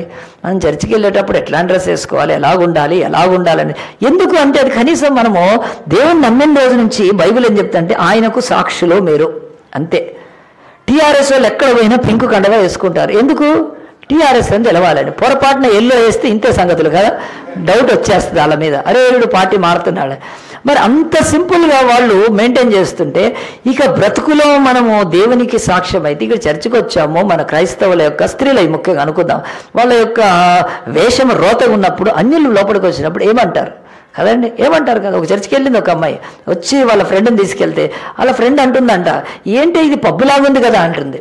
అదొక పెంతుకోస్తల చర్చ్ అండి అది దిక్కుమాలిన చర్చ్ అంతా టైట్ జీన్స్ ప్యాంట్లు వేసుకొని టీ షర్ట్లు వేసుకున్నారు. ఒక్కసారి హల్లులు యానిట్లు అంటే ఏం జరుగుతాయో తెలీదు. కనుక ఎంత కంట్రోల్లో ఉన్నారు వాళ్ళు? ఈ పిల్ల తీసుకపోతే అంది ఏందే ఇది? నువ్వు నన్ను తీసుకొచ్చావు? నేను ఇక్కడ అలాంటి అమ్మాయి మళ్ళీ ఈ చర్చికి వచ్చిందండి. వచ్చి నేను అమ్మాయికి బాప్తిసం కూడా ఇచ్చానని తెలుసుకుంది అమ్మాయి. ఒక హైందవరాలు ఒక దేవుని బిడ్డ అయ్యింది. చెప్తుంది "ఆ, ఇక్కడ దేవుని బిడ్డలు అంటే ఇట్లా ఉండాలి చర్చ్ అని. తీసుకెళ్తే ఒక చర్చికి మలకపేటలోనే ఉంటుంది పెద్దకొస్తుంది చర్చ్. ఎంత దరిద్రం అండి అసలు. ఆలోచిస్తున్నారా ఈరోజు బైబిల్ చెప్తుంది? తల్లిదండ్రులకు దూరంగా ఉన్నాడు. అన్నలు చూడరు. దేశం కాని దేశం. యోసే పాపం చేస్తే ఎవరికి తెలుస్తుందండి? ఎవ్వరికి తెలియదు ఎవ్వరికి తెలియదు కానీ హెబ్రియుడైన ఇతనికి దేవుడి యొక్క సన్నిధాన అబ్రహాము సున్నతి చేపించాడు దేవుడు. అక్కడే ప్రారంభమైంది. ఇస్సాకుకు సున్నతి చేశారు. యాకోబుకి సున్నతి. యాకోబు యొక్క పిల్లలు ఇస్రాయల్ అందరికీ సున్నతి ఉంది. యోసేపుకి సున్నతి ఉంది. నేను ఐగుప్తులో ఉన్నంత మాత్రం నా సున్నతి పోతుందా? ఎనిమిదో దినంనే చేశారు. యహోవా దేవుడితో రక్త సాక్ష్యం చేసుకున్న వాళ్ళు అండి వాళ్ళు. కనుక అతను ఏమనుకున్నాడు? నా సాక్ష్యం పోకూడదు. ఎవ్వరు చూడరు తల్లిదండ్రులు లేరు ఎవరు లేరు కనుక. అప్పుడు ఇంకా ఆ ఇంట్లో ఎట్లా ఉన్నాడు? టాప్ పొజిషన్లో ఉన్నాడు అతను. టాప్లో ఉన్నాడు అతను. అధికారి ఇంటికి అధికారి. కనుక అంత పొజిషన్లో ఉండి యవ్వన కాలంలో ఉండి యవ్వన ఇచ్చకు ఇతను వెంబడబడలేదు ఆమె వెంబడబడుతుంది అలాంటప్పుడు ఇది ఏమి తప్పులే అని అనుకోవటం ఈ పొరపాటున పాపం చేయలేదు. కానీ పారిపోయాడండి పారిపోయాడు కనుక ఈరోజు బైబిల్ చెప్తుంది ప్రపంచ దేశాలకు దేవుడు అంటున్నాడు నీ కమిట్మెంట్ దేవుడి దగ్గరకు వస్తే యవనస్తులకు ముఖ్యంగా హోలీనెస్ ఉంది ఆ కమిట్మెంట్ లాస్ట్ ఇయర్ అంతా అలాగనే తిరిగేసావేమో ఏమాత్రం కూడా నువ్వు శ్రద్ధ లేకుండా మళ్ళీ ఏదో బలలో చేయి వేస్తూ క్షమాపణ పొందే దేవుడు కృప కానీ పరిశుద్ధంగా హోలీగా నువ్వు స్థాపించుకోవడం మొదలుపెట్టినప్పుడు దేవుడు అంటున్నాడు నీవు మహిమను చూస్తావు గనక. అలాగున ఆ జైల్లో పడ్డాక అదే లాస్ట్ అండి కదా. ఆ తర్వాత రెండేళ్ళు అక్కడ ఉన్నాడు. అక్కడి నుంచి ప్రీమియర్ అయిపోయాడండి ఆ యొక్క ఐగుప్తికి. ఆయన రాజు కూడా ఏదైనా అడగాలంటే చేయాలంటే యోసేపు పర్మిషన్ తీసుకునే దగ్గరికి తీసుకొచ్చాడు. అంటే దేవుడు ఈరోజు ఎవరు నేర్చిస్తాడండి ముఖ్యంగా యవనస్తులను ఎవరు నేర్చిస్తాడంటే బైబిల్ చెప్తుంది కమిట్మెంట్ ఇన్ హోలీనెస్ పరిశుద్ధతలో. కనుక అలాంటి పరిశుద్ధత లేకపోతే నీ జీవితంలో ఏం లేదు కనుక దయచేసి చివరిది మాత్రం ఒక రెండు నిమిషాల్లో చెప్తాను బైబిల్లో. మీరందరూ కూడా తీయండి. ఇక చదవని అవసరం లేదు. అపోస్తుల కార్యం ఐదో అధ్యాయం తీయండి. అట్లా పెట్టుకోండి అంతే. సంఘం కట్టబడింది. యేసు ప్రభు ఆయన పునరుత్డయ్యాడు. ఆయన పునరుత్నాక మరియమ్మ ఇంటిలో అపోస్తుల గారు రెండో అధ్యాయంలో సంఘం అంతా కూడా ఆ రోజు మరి కూడుకొని ప్రార్థిస్తుండగా నూట ఇరవై మంది ఆకాశం నుండి పరిశుద్ధాత్మను పంపిస్తే అపోస్తులు భాషలు మాట్లాడే వరకు అందరూ కన్ఫ్యూజ్ అయిపోయింది కొత్త మద్యం అనుకున్నారు కానీ వెంట వెంటనే వెంటనే వెంటనే పేతురు నిలబడి ప్రసంగం చేయగానే మూడు వేల మంది రక్షణ పొందారు. ఇది సంఘ ప్రారంభం. అపుస్తులు గారు రెండో అధ్యాయం నుంచి మొదలు పెడితే అలాగే సంఘం విస్తరించింది. మరి ఈ సంఘము ఎవరి చేతిలో ఉంది? ఆ అమాయకులు లేకపోతే అమాయకులు అంటే కూడా ఆ యొక్క అదముల్లాగా కనిపిస్తున్న వాళ్ళు డబ్బు లేని వాళ్ళు అలాగనే ఏమీ లేని వాళ్ళు మందిరాలు లేని వాళ్ళు ఆ చదువు లేని వాళ్ళలాగా కనిపిస్తున్న వాళ్ళ చేతిలో చర్చ ఉంది స్టార్టింగ్. ఆ అపోస్తుల దగ్గర ఏమీ లేదని అందరికీ తెలుసు. ఇక వాళ్ళు చూశారు మరి చర్చ నడవాలంటే ఏం చేయాలి?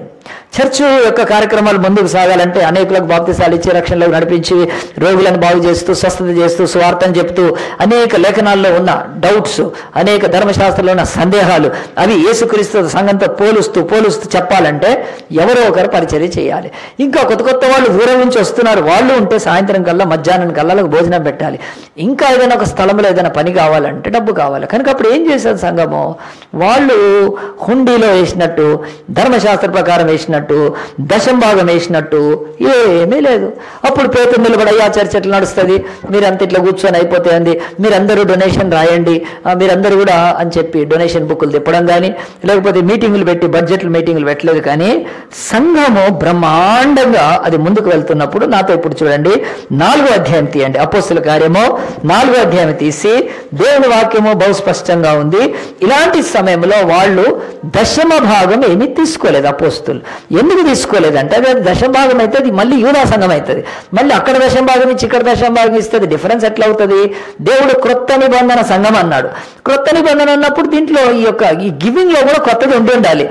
ఖచ్చితంగా ఆ పాతది దేవుడు తీసేస్తాడు. దశమ భాగం యూదులు ఇచ్చేవాళ్ళు ఇప్పుడు ఈ చర్చిలో ఉన్న వాళ్ళు ఎక్కువ మంది యూదులేనండి. వాళ్ళ దగ్గర స్టార్ట్ అయింది చర్చ్. ఇంకెవరు ఉంటారు? అది ఇండియాలో చర్చ్ ఉందంటే అమెరికన్స్ జపాన్ వాళ్ళు ఉంటారా? ఇండియన్సే ఉంటారు. అలాగున్న యూదులే ఉన్నారు కనుక వాళ్ళ ఎవరి దగ్గర అయ్యా అని దేహం బిచ్చం అడగలేదు పేతురు వాళ్ళు. అయ్యా మేము చేపలు పట్టుకునే వాళ్ళము. మా దగ్గర ఏమీ లేవు. మేము ఎట్ట సేవ చేస్తామో? మాకు ఏమి ఇస్తారు మీరు? ఎంతెంత ఇస్తారు? అని చెప్పి డొనేషన్ రాయమని కవర్లు పెట్టి అవి ఏం అడగలేదండి. It's work of God. దేవుడు చూసుకుంటాడు. కనుక చూడండి అని బైబిల్ చెప్తుంది. ముప్పై రెండవ వచ్చినము నాలుగో అధ్యాయం ముప్పై రెండు. విశ్వసించిన వారందరూ ఏక హృదయంతో ఏక ఆత్మతో వాళ్ళు కలిగిన వారయ్యండి తమ కలిగిన వాటితో ఏదియో తనవేని అనుకోలేదు. వారికి కలిగినంతయు వారికి సమిష్టిగా ఉండను. ఇదిగాక అపోస్తులు బహుబలంగా ప్రభైన యేసు పునరుత్థానం గురించి సాక్ష్యం ఇచ్చారు. దైవ కృప అందరి అధికంగా ఉన్నందుకు భూములైనను భూములైనను ఇండ్లైనను కలిగిన వారందరూ. కలిగిన వారందరూ లేనోళ్ళు కాదు ఉన్నోళ్ళు కలిగిన అటు అమ్మి అమ్మిన వాటి వెల తెచ్చి అపోస్తుల పాదముల ఎద్ద పెట్టుచూ వచ్చిరి. గట్టిగా చెప్పండి కొడదామండి. దేవుడు తన సంఘం కొరత ఎట్లా తీర్చాడు? వాళ్ళ హృదయాలలో ప్రేరణ కలిగించాడు. ఎందుకనంటే వాళ్ళు ఎంత నమ్మారంటే ఈ భూమి మీదకి ఆస్తి మనకు పనికిరాదు.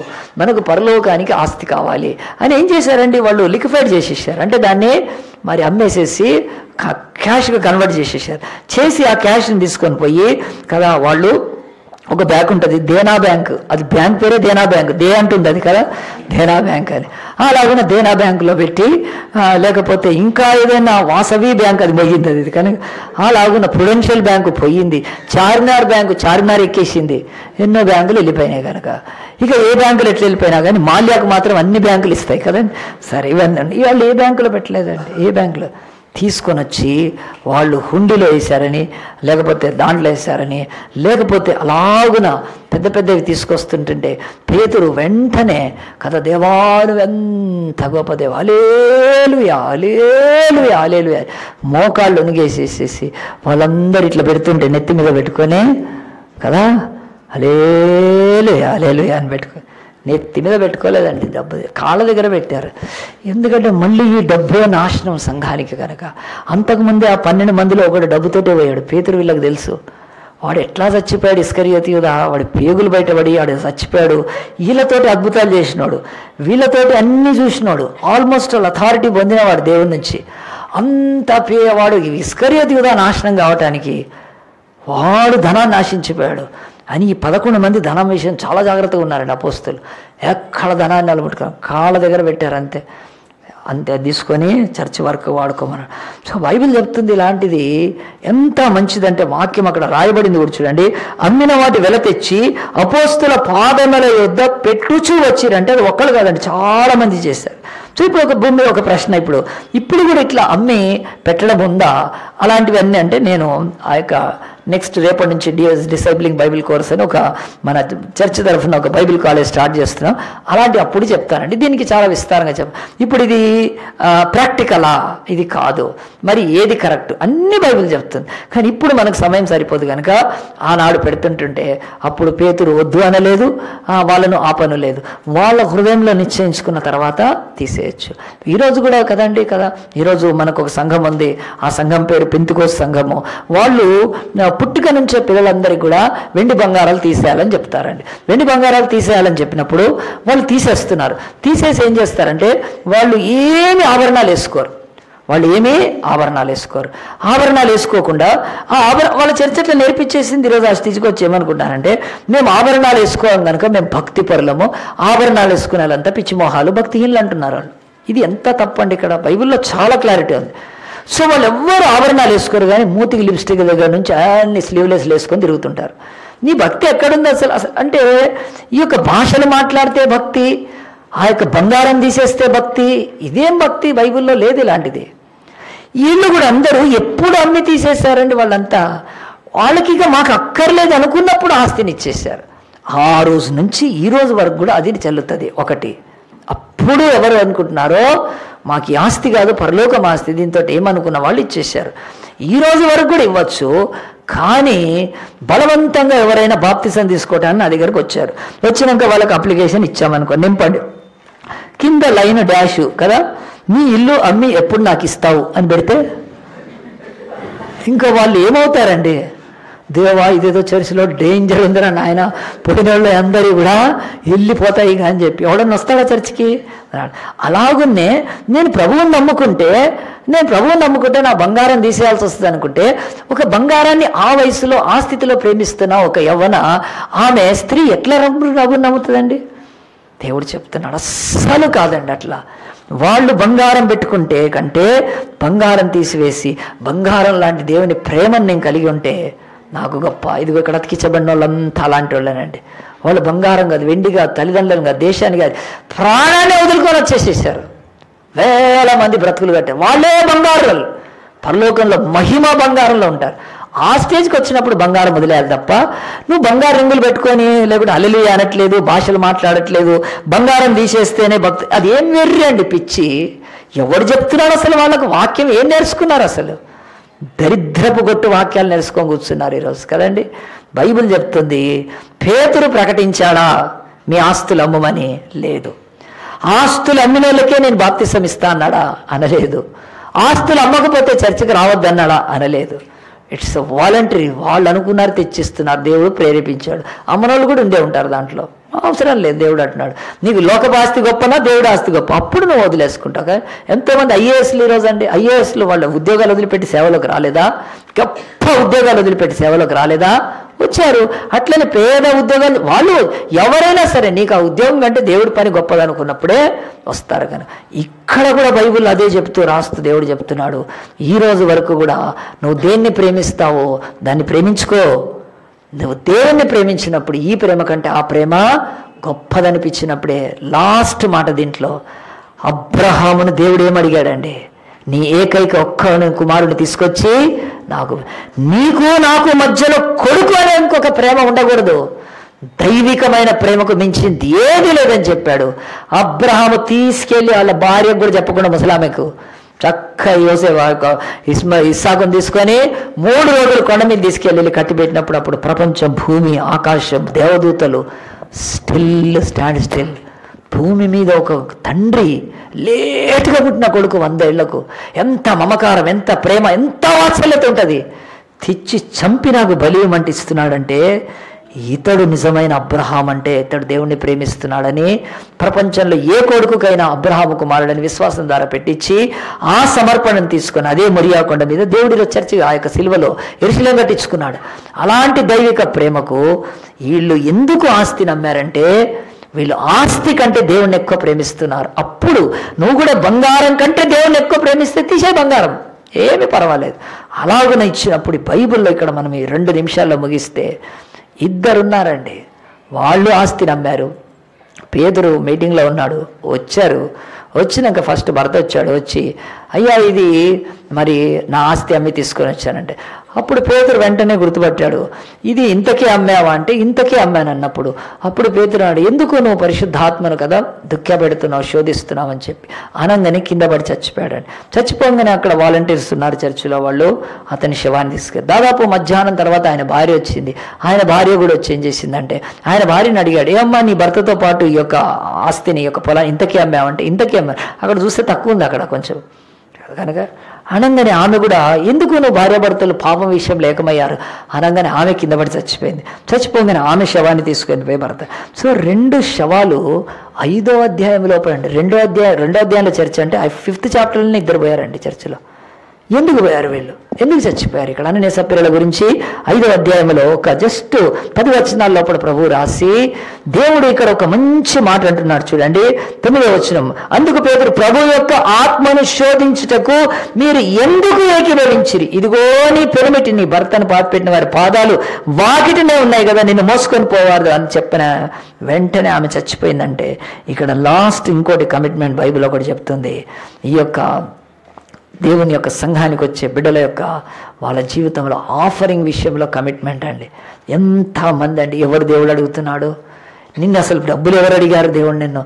నువ్వు ఒకవేళ ఇవ్వాలని ప్రేరేపణ చర్చ అవసరతలు చూసి ప్రేరేపించుకున్నాక నువ్వు దేవుడి దు ఆ డబ్బునే దొంగిలించే బిడగున్నావా అసలు నీ ఆఫరింగ్లో కమిట్మెంట్ ఉందా? లాస్ట్ ఇయర్ అంతా కూడా ఫైనాన్షియల్ అంతకుముందు అంతా ఫైనాన్షియల్గా బాధపడుతూనే వస్తున్నావు. లేకపోతే నువ్వు ఆశించింది రావట్లేదు. ఎందుకో తెలుసా బైబిల్ అంటది? నీవు ఆఫరింగ్లో కమిట్మెంట్ సరిగ్గా లేదండి. ఆఫరింగ్ అనను కానీ గివింగ్లో కమిట్మెంట్ లేదు నీకు. గివింగ్లో కమిట్మెంట్ లేదండి. వీళ్ళ యొక్క ప్రాణాలు కోల్పోవటానికి గివింగ్లో కమిట్మెంట్ లోపం ఉంది. ఎందుకో తెలుసా? ఎట్లా పడితే అట్లా ఇవ్వచ్చు. ఆ యొక్క పేతురికి అర్థం కాదు మార్కెట్ వాల్యూ తెలీదు. మేము మా ఇంట్లో దాచిపెట్టిన డబ్బు మాకు తప్ప ఎవరికి తెలియదు ఆ తర్వాత కొంత డబ్బు దాచిపెట్టుకొని బయటకు వచ్చిన తర్వాత మిగతా వాళ్ళంతా ఫుల్ అమౌంట్ ఇస్తుంటే వాళ్ళకి పక్కకి వెళ్ళి మేము అంత ఇవ్వలేదు కొంత దాచుకున్నా మీరు పిచ్చోళ్ళు ఎందుకు ఇస్తున్నారని వేరే చెప్పి సంఘములో ఒక ప్రాకుడు ఆ యొక్క ఇన్ఫెక్షన్ లాగా ఈ పాపాన్ని దేవుడు అప్పుడే అగ్ని చేత కాల్చేసేసాడండి. చంపేసేసాడు గుర్తుపెట్టు. సో మన బ్రతుకుల్లో ఇప్పుడు దేవుడు ఎందుకు కాల్చట్లేదంటే ఇప్పుడు ఒక కృప అడ్డుకుంటుంది కనుక గివింగ్లో నీ కమిట్మెంట్ ఏంటి? నంబర్ వన్ గివింగ్లో కమిట్మెంట్ టెస్ట్ మనీ అండి. ఒక అతను బ్రిడ్జ్ దగ్గర నిలబడి ఉన్నాడు కరపత్రాలు పంచుతున్నాడు. పంచుతూ ఉంటుంటే అక్కడ ఒక ముసలాయన చూస్తున్నాడు. బ్రిడ్జ్ దగ్గర ట్రాక్స్ ఇస్తున్నాడు. అందరు ట్రాక్స్ తీసుకుంటున్నారు కింద పడేస్తున్నారు కింద పడేస్తున్నారు కింద పడేస్తున్నారు. ఏమీ లేదు. ఆ యవనస్తుడిని దూరం నుంచి ముసలాడు మిచ్చిలాడు వచ్చి ఆ ముసలాయన ఏం పిచ్చోడువా నువ్వు? ఇలాగున అందరు పడేస్తున్నారు కదా ఎవరు తీసుకోవట్లేదు కదా ఈ ట్రాక్స్. మరి నువ్వు ఎందుకు ఈ పని చేస్తున్నావు? రోజు చూస్తున్నావు నువ్వు ఇక్కడే సాయంత్రం ఉండి కరపత్రాలు పంచుతున్నావు కదా ప్రభువు గురించి అన్నప్పుడు. ఆ పిల్లవాడు అన్నాడు ఆ యవనస్తుడు అన్నాడు ఏం లేదు సార్ నాకేం బాధ లేదన్నాడు ఎందుకో తెలుసా? నేను ఒక పదేళ్ళ క్రితము ఇలాగ ఇదే బ్రిడ్జ్ దగ్గర నుంచి వెళ్తున్నాను. వెళ్తున్నప్పుడు అప్పుడు ఒక ఆయన కరపత్రాలు ఇస్తే నేను కూడా ఏం చేశానంటే అట్లనే చూసి పడేసేవాడిని కానీ ఒకరోజు ఆ కరపత్రం తీసుకున్నాను. ఇప్పుడు తెలుసా? నేను సూసైడ్ చేసుకోవాలనుకుంది ఆ కరపత్రం చదివినాక దేవుడు నన్ను తల్లి తను అందరికంటే ఎక్కువ ప్రేమిస్తున్నాడని ఆ కరపత్రం ద్వారా తెలుసుకొని ఆ కరపత్రం ద్వారా నేను ఆ యొక్క రక్షణ పొంది నేను చక్కటి జీవితం జీవిస్తున్నాను. కానీ కొన్ని రోజులకు తెలిసింది నా అలాగే ఇంట్లో ఎంతమంది చచ్చిపోతుంటారో ఎలాగున బాధల్లో ఉంటారు. మరి నేనేం చేయాలి ప్రభు కొరకు అంటే సాక్ష్యం చెప్పాలి. ఎట్లా? ఇంక వేరేది ఏమీ లేదు. అక్కడ బ్రిడ్జ్ దగ్గర నిలబడి ఆయన ఎవరో వెళ్ళి కలుద్దాం అనుకున్నాను. చాలా ఇయర్ టైం గడిచిపోయింది. ఆయన ఎవరో లేదు థ్యాంక్స్ చెప్దామంటే. మరి ఆయన పంచుతుంటే ఇప్పుడు ఎవరు చేయాలా పని? నేనే చేయాలి నా బ్రిడ్జ్ దగ్గర నిలబడి కరపత్రాలు పంచుతున్నాను.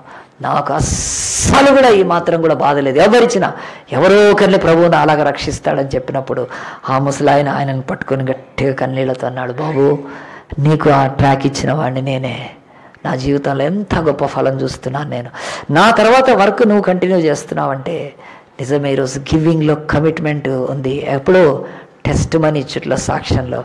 ఎక్కడ సాక్ష్యం చెప్తే ఎవరు రక్షణ పొందారో తెలియదు నేను చెప్తూ ఉంటాను. అది కమిట్మెంట్ అండి. కమిట్మెంట్ గివింగ్లో రెండోది ఒక చర్చిలో పాస్టర్ గారు చెప్పాడండి. ఏమని చెప్పాడు? మీరు ఈ యొక్క మిషన్స్ కొరకు కానుకలు ఇవ్వమన్నాడండి. ఆ రోజు అంతా వాక్యం చెప్పాడు. ఎండింగ్లో నిలబెట్టాడు. మిషన్స్కి ఆఫరింగ్స్ ఇవ్వని చెప్తే ఎవ్వరూ ఆ యొక్క కానుకలు ఇవ్వలేదండి. సరే అందరు లేచి నిలబడ్డారు. లేచి నిలబడ్డాక ఆయన కళ్ళు మూసుకొని ప్రార్థన చేసి కొంచెంసేపు ప్రభు ఈ చర్చికి ఏంటి ఇలాగానే అలాగున కళ్ళు మూసుకున్న తర్వాత పెద్ద శబ్దం వినిపించిందండి చర్చిలో. వినిపించేవారు కళ్ళు తెరిచి చూశారు. చూస్తే ఒక అమ్మాయి పడిపోయిందండి అక్కడ. పడిపోయి అంటే అందరూ చూసి చూసి అయ్యో ఎందుకు కళ్ళు తెరి పడిపోయిందా? టిఫిన్ చేయకుండా వచ్చిందా? లేకపోతే ఇంకే ప్రాబ్లం అనుకున్నారు. కానీ ఆమె పడిపోవటానికి కారణం ఏంటంటే ఆమె కాళ్ళే లేవండి అసలు కింద పడిపోయింది. ఆమెను లేపుతూ ఉంటే ఆమె లేపొద్దు లేపొద్దు అంది ఎందుకు లేపొద్దు అంటే లేపి అయినా వాడికి బలవంతంగా అక్కడ చైర్లో కూర్చోబెట్టారు. కూర్చోబెట్టినాక ఆ క్రచెస్ అంటారండి ఈ యొక్క కర్రలు. ఆ కర్రలు ఇస్తుంటే అమ్మాయి చెప్పింది పాస్టర్ నాకు ఒక్క నిమిషం మైకి ఇవ్వండి అంటే ఆమె ఒకటే చెప్పింది నాకు ఇక కర్రలు వద్దు నేను ఇక్కడ నుంచి ఇంటికి నేను ఎట్లయినా పాక్కుంటా అయినా పోతాను ఎట్లయినా. ఏం చేయాలి కర్రలు అంటే మీరు ఈ రెండు కర్రలు అమ్మేసి మంచి కర్రలు అండి దేశంలో అవి చాలా విలువ ఉంటాయి అవి. అమ్మి మిషన్స్కి ఇచ్చేయమని చెప్పిందండి. ఇచ్చేయండి కానుకలు చర్చిలో. ఎవరికి లేదండి ఇచ్చే మనసు. అలాగున ఆమెను చూచి అప్పుడు చర్చిలో సిగ్గుపడ్డారు. కమిట్మెంట్ అంటే గివింగ్లో ఏం కమిట్మెంటు? తన తనను మోసే కర్రలు ఇచ్చేసేసింది. అది ఆమెలో కమిట్మెంట్ అండి. ఆలోచించండి ఈరోజు. ఎన్నిసార్లు మనం టెస్ట్ మనీలో కమిట్మెంట్ లేదు సాక్ష్యం చెప్పటం. గివింగ్లో కమిట్మెంట్ లేదు కూడా ఈ సంవత్సరం అండి. మూడోది థ్యాంక్స్ గివింగ్లో అండి. కృతజ్ఞతలో కమిట్మెంట్ ఉందా? కదా ఎప్పుడైనా కృతజ్ఞత కలిగి నీ జీవితంలో ఒక్కసారైనా దేవుడికి అది ఇవ్వాల్సిన ఆ కృతజ్ఞత అర్పణ ఇస్తున్నావా? లేకపోతే కృతజ్ఞత సాక్షి సో థ్యాంక్స్ గివింగ్లో కూడా ఈరోజు చాలామందికి ఇలాంటివి లేదు కనుక దేవుడు నేను మూడు కంప్లీట్ చేసి చెప్పానండి. ఈ సంవత్సరం ఆరంభం కనుక మెసేజ్ ఎక్కువ అనుకోవద్దు కానీ ఒక్కటి నమ్మండి. దేవుడు అంటున్నాడు భక్తుడికి ఆ యొక్క వర్షిప్లో కమిట్మెంట్ యమనస్తుడికి తన హోలీనెస్లో కమిట్మెంట్ కావాలి. అలాగున్న ఒక బిలీవర్కి విశ్వాసికి తన జీవితంలో గివింగ్లో కమిట్మెంట్ ఉండాలండి అసలు ఆ కమిట్మెంట్ లేకపోతే మనం నిజంగా ఈ సంవత్సరం ఆశ్రదింపబడతామా? ఒక్కసారి కావాల్సిన వాక్యం ఒక్కటి చెప్పి నేను ప్రార్థన చేస్తాను. దయచేసి హెబ్రి పత్రిక తీయండి అందరూ. హెబ్రి పత్రిక తీసి పన్నెండో అధ్యాయం తీసి మాట బైహార్ట్ చేసుకోవచ్చు. తప్పకుండా. అంత మంచి మాట హెబ్రిలకు రాసిన పత్రిక. నీకు నాకు కూడా ఎన్నో వచ్చిన ఈ భూమి మీద యేసు ప్రభు ఎంత కమిట్మెంట్తో ఆయన ఉన్నాడో ఈ ఒక్క వాక్యం చెప్తుందండి. ఏమని చెప్తుందంటే రెండవ యొక్క వచనములో సగం యేసు ప్రభు గురించి రాస్తే సగం మన గురించి ఇంకా మంచిగా రాశాడు చూడండి. Hebrews twelfth chapter. ఇంత గొప్ప సాక్షి సామం మేఘం వల్ల ఉంది. అది మొదటి వచనం. మనల్ని ఆవరించిన మనము కూడా ప్రతిభారమును చెప్తున్నాడు ప్రతిభారమును సులువుగా చిక్కులు పెట్టి పాపమును విడిచిపెట్టి విశ్వాసమునకు కర్తయు. దాన్ని కొనసాగించి యేసు వైపు చూచుచు మన ఎదుట ఉంచబడిన పందెంలో ఓపికతో పరిగెద్దమని చెప్పి ఇప్పుడు ఆయన కమిట్మెంట్ గురించి ఆయన తన ఎదుట ఉంచబడిన ఆనందము కొరకై తన కుడి పార్శ్వమున దేవుడు మహిమపరచబడే ఆ యొక్క మహోన్నతమైన ఆ యొక్క మనుషులు మరి ఊహకందని ఆ యొక్క మహిమతో కూడిన సింహాసనం ఆనందాన్ని దేవుడు ఎలా సహించంటే ఆనందం అవమానమును నిర్లక్ష్య పెట్టి సిలువను సహించి దేవుని సింహాసనం యొక్క కుడి పార్శ్వన ఆశ్రయం ఆయన అంటున్నాడు కమిట్మెంట్ దేని కొరకు? అవమానమంతా వర్లించాడు. నిర్లక్ష్య పెట్టాడు కదండి. తర్వాత చూడండి ఆ కమిట్మెంట్లో ఇంకా మూడవచ్చు మీరు అలసట పడకయు మీ ప్రాణాలు విసుకకయు ఉండినట్లు పాపాత్ములు తనకు వ్యతిరేకంగా చేసిన తిరస్కారం అంతయు ఓర్చుకొనిన ఆయనను తలంచుకోండి. మీరు పాపముతో పోరాడుట్లో రక్తము కారణంతగా ఇంతగా దాన్ని ఎదిరింపలేదు అని బైబిల్ చెప్తుంది. యేసు యొక్క కమిట్మెంట్ ఎంత గొప్పదో బైబిల్ చెప్తూ ఆ కమిట్మెంట్ బట్టి మనకు రక్షణ వచ్చిందని దేవుడు వాక్యం చెప్తున్నారు అందరం తల్ల వంచి కళ్ళు మూసుకొని ఒక్క మాట ప్రార్థన చేసుకుందాం. ప్రభా ఈ కొత్త సంవత్సరంలో అయ్యా కమిట్మెంట్ అనే మాట బైబిల్లో వన్ ఎయిటీ ఎయిట్ టైమ్స్ ఉందండి. నూట ఎనభై ఎనిమిది సార్లు ఉంది ఇంగ్లీష్ బైబిల్ ప్రకారం. కమిట్మెంట్ అనే మాట బైబిల్లో ఒక్కసారి కాదు ఎనిమిది సార్లు కాదు ఎనభై సార్లు కాదు ఒక్క వంద ఎనభై ఎనిమిది సార్లు బైబిల్లో అరవై ఆరు గ్రంథాలలో కమిట్మెంట్ అనే ఇంగ్లీష్ మాటతో నిబద్ధత అనే మాటకు సంబంధించింది. దేవుడు రాసిపెట్టి మనకు చెప్తున్నాడు ఈరోజు. ప్రియ దేవుని ఈరోజు రెండు వేల పద్దెనిమిది గడిచినట్టు పంతొమ్మిది కూడా గడిచిపోవాలంటే నీకెక్కడ కమిట్మెంట్ అవసరం లేదు. కానీ ఈరోజు వివాహం చేసుకుంటే ఒక భార్యతో జీవిత కాలం అంతా కమిట్మెంట్లో ఉండాలి కదా. బైబిల్ చెప్తుంది నువ్వు రోడ్డు ఎక్కావంటే ఆ రోడ్డు దిగేంత వరకు డ్రైవింగ్లో నీ కమిట్మెంట్ ఎలాగుండాలి? ఖచ్చితంగా డ్రైవింగ్ ఆ యొక్క రూల్స్ రెగ్యులేషన్స్ ప్రకారమే ఉండాలి. అలాగున ఈరోజు నీ బ్రతుకులో దేవుడు ఒక్కసారి అడుగుతున్నాడు నీ లైఫ్లో కమిట్మెంట్ ఎక్కడైనా ఉందా? అసలు సిసలైన కమిట్మెంటు నేను ఇంకా గొప్ప స్థితికి తీసుకెళ్తుంది కనుక నేను గొప్ప మహిమకు నడిపిస్తుంది కనుక ప్రభు మనతో మాట్లాడుతున్నప్పుడు దేవుడు ఇంకొకసారి తన యొక్క వాక్య ప్రకారం మాట్లాడుతుండగా దేవా నేను అయ్యా నా జీవితంలో నోవాహు జల ప్రళయం తర్వాత అయ్యా తన వర్షిప్లో ఎంత కమిట్ అయి ఉన్నాడో. ఈరోజు నిన్ను ఆరాధించి ప్రార్థించడంలో నా బ్రతుకులో కమిట్మెంట్ ఉందా? ఒక పని చిన్న చర్చ్ పని చేయడంలో కమిట్మెంట్ ఉందా? దేవుడి సేవ చేసే విషయంలో కమిట్మెంట్ ఉందా? ఎప్పుడు పడితే అప్పుడు మానేయడం చర్చు. ఎప్పుడు పడితే అప్పుడు వదిలిపెట్టడం పనిని. ఎప్పుడు పడితే అప్పుడు సమయాన్ని పాటించకుండా ఇష్టంగా బ్రతకడం. ఏ పని కూడా నిబద్ధ ఇలాంటి బ్రతుకులకు దేవుడు ఆశీర్వాదము ఈ సంవత్సరంలో ఇస్తాడని ఆశించటము అది వెర్రితనమే కదా. వన్ ఇయర్ అయినా నీ లైఫ్లో ఒక సీరియస్ కమిట్మెంట్ కనిపిస్తుందా? ఆలోచించు నీ లైఫ్లో. దేవుణ్ణి ఆరాధించటానికి ఆనాడు నోవాహు ఎంత కమిటెడ్గా ఉన్నాడు ఓడలోంచి బయటికి రాగానే ఫస్ట్ వర్క్ ఆయన చేసింది. ఆ దేవుణ్ణి స్థుతించి ఆరాధించటమే.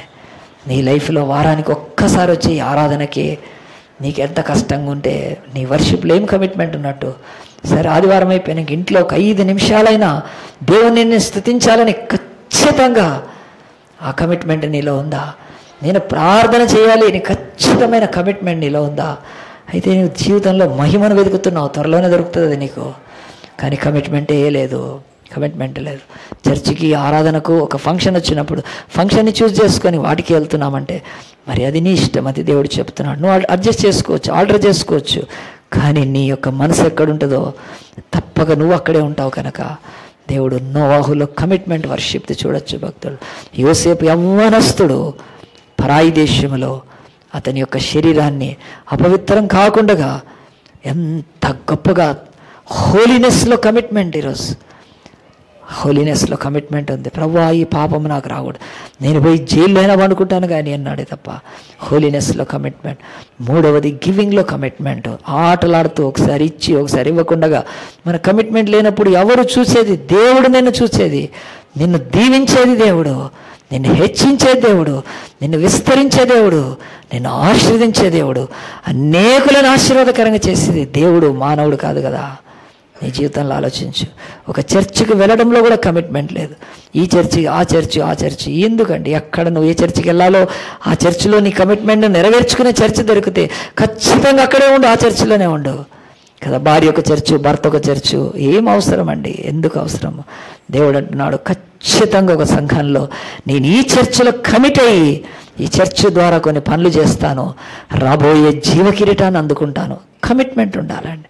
కనుక మన లైఫ్లో గివింగ్లో కమిట్మెంట్ ఉందా? ఏమిస్తున్నాం ఈరోజు కదా? తన చేతుల్ని లోకానికి ఇస్తూ ఆ యేసు ప్రభు ఆయన కమిట్ అయ్యాడు.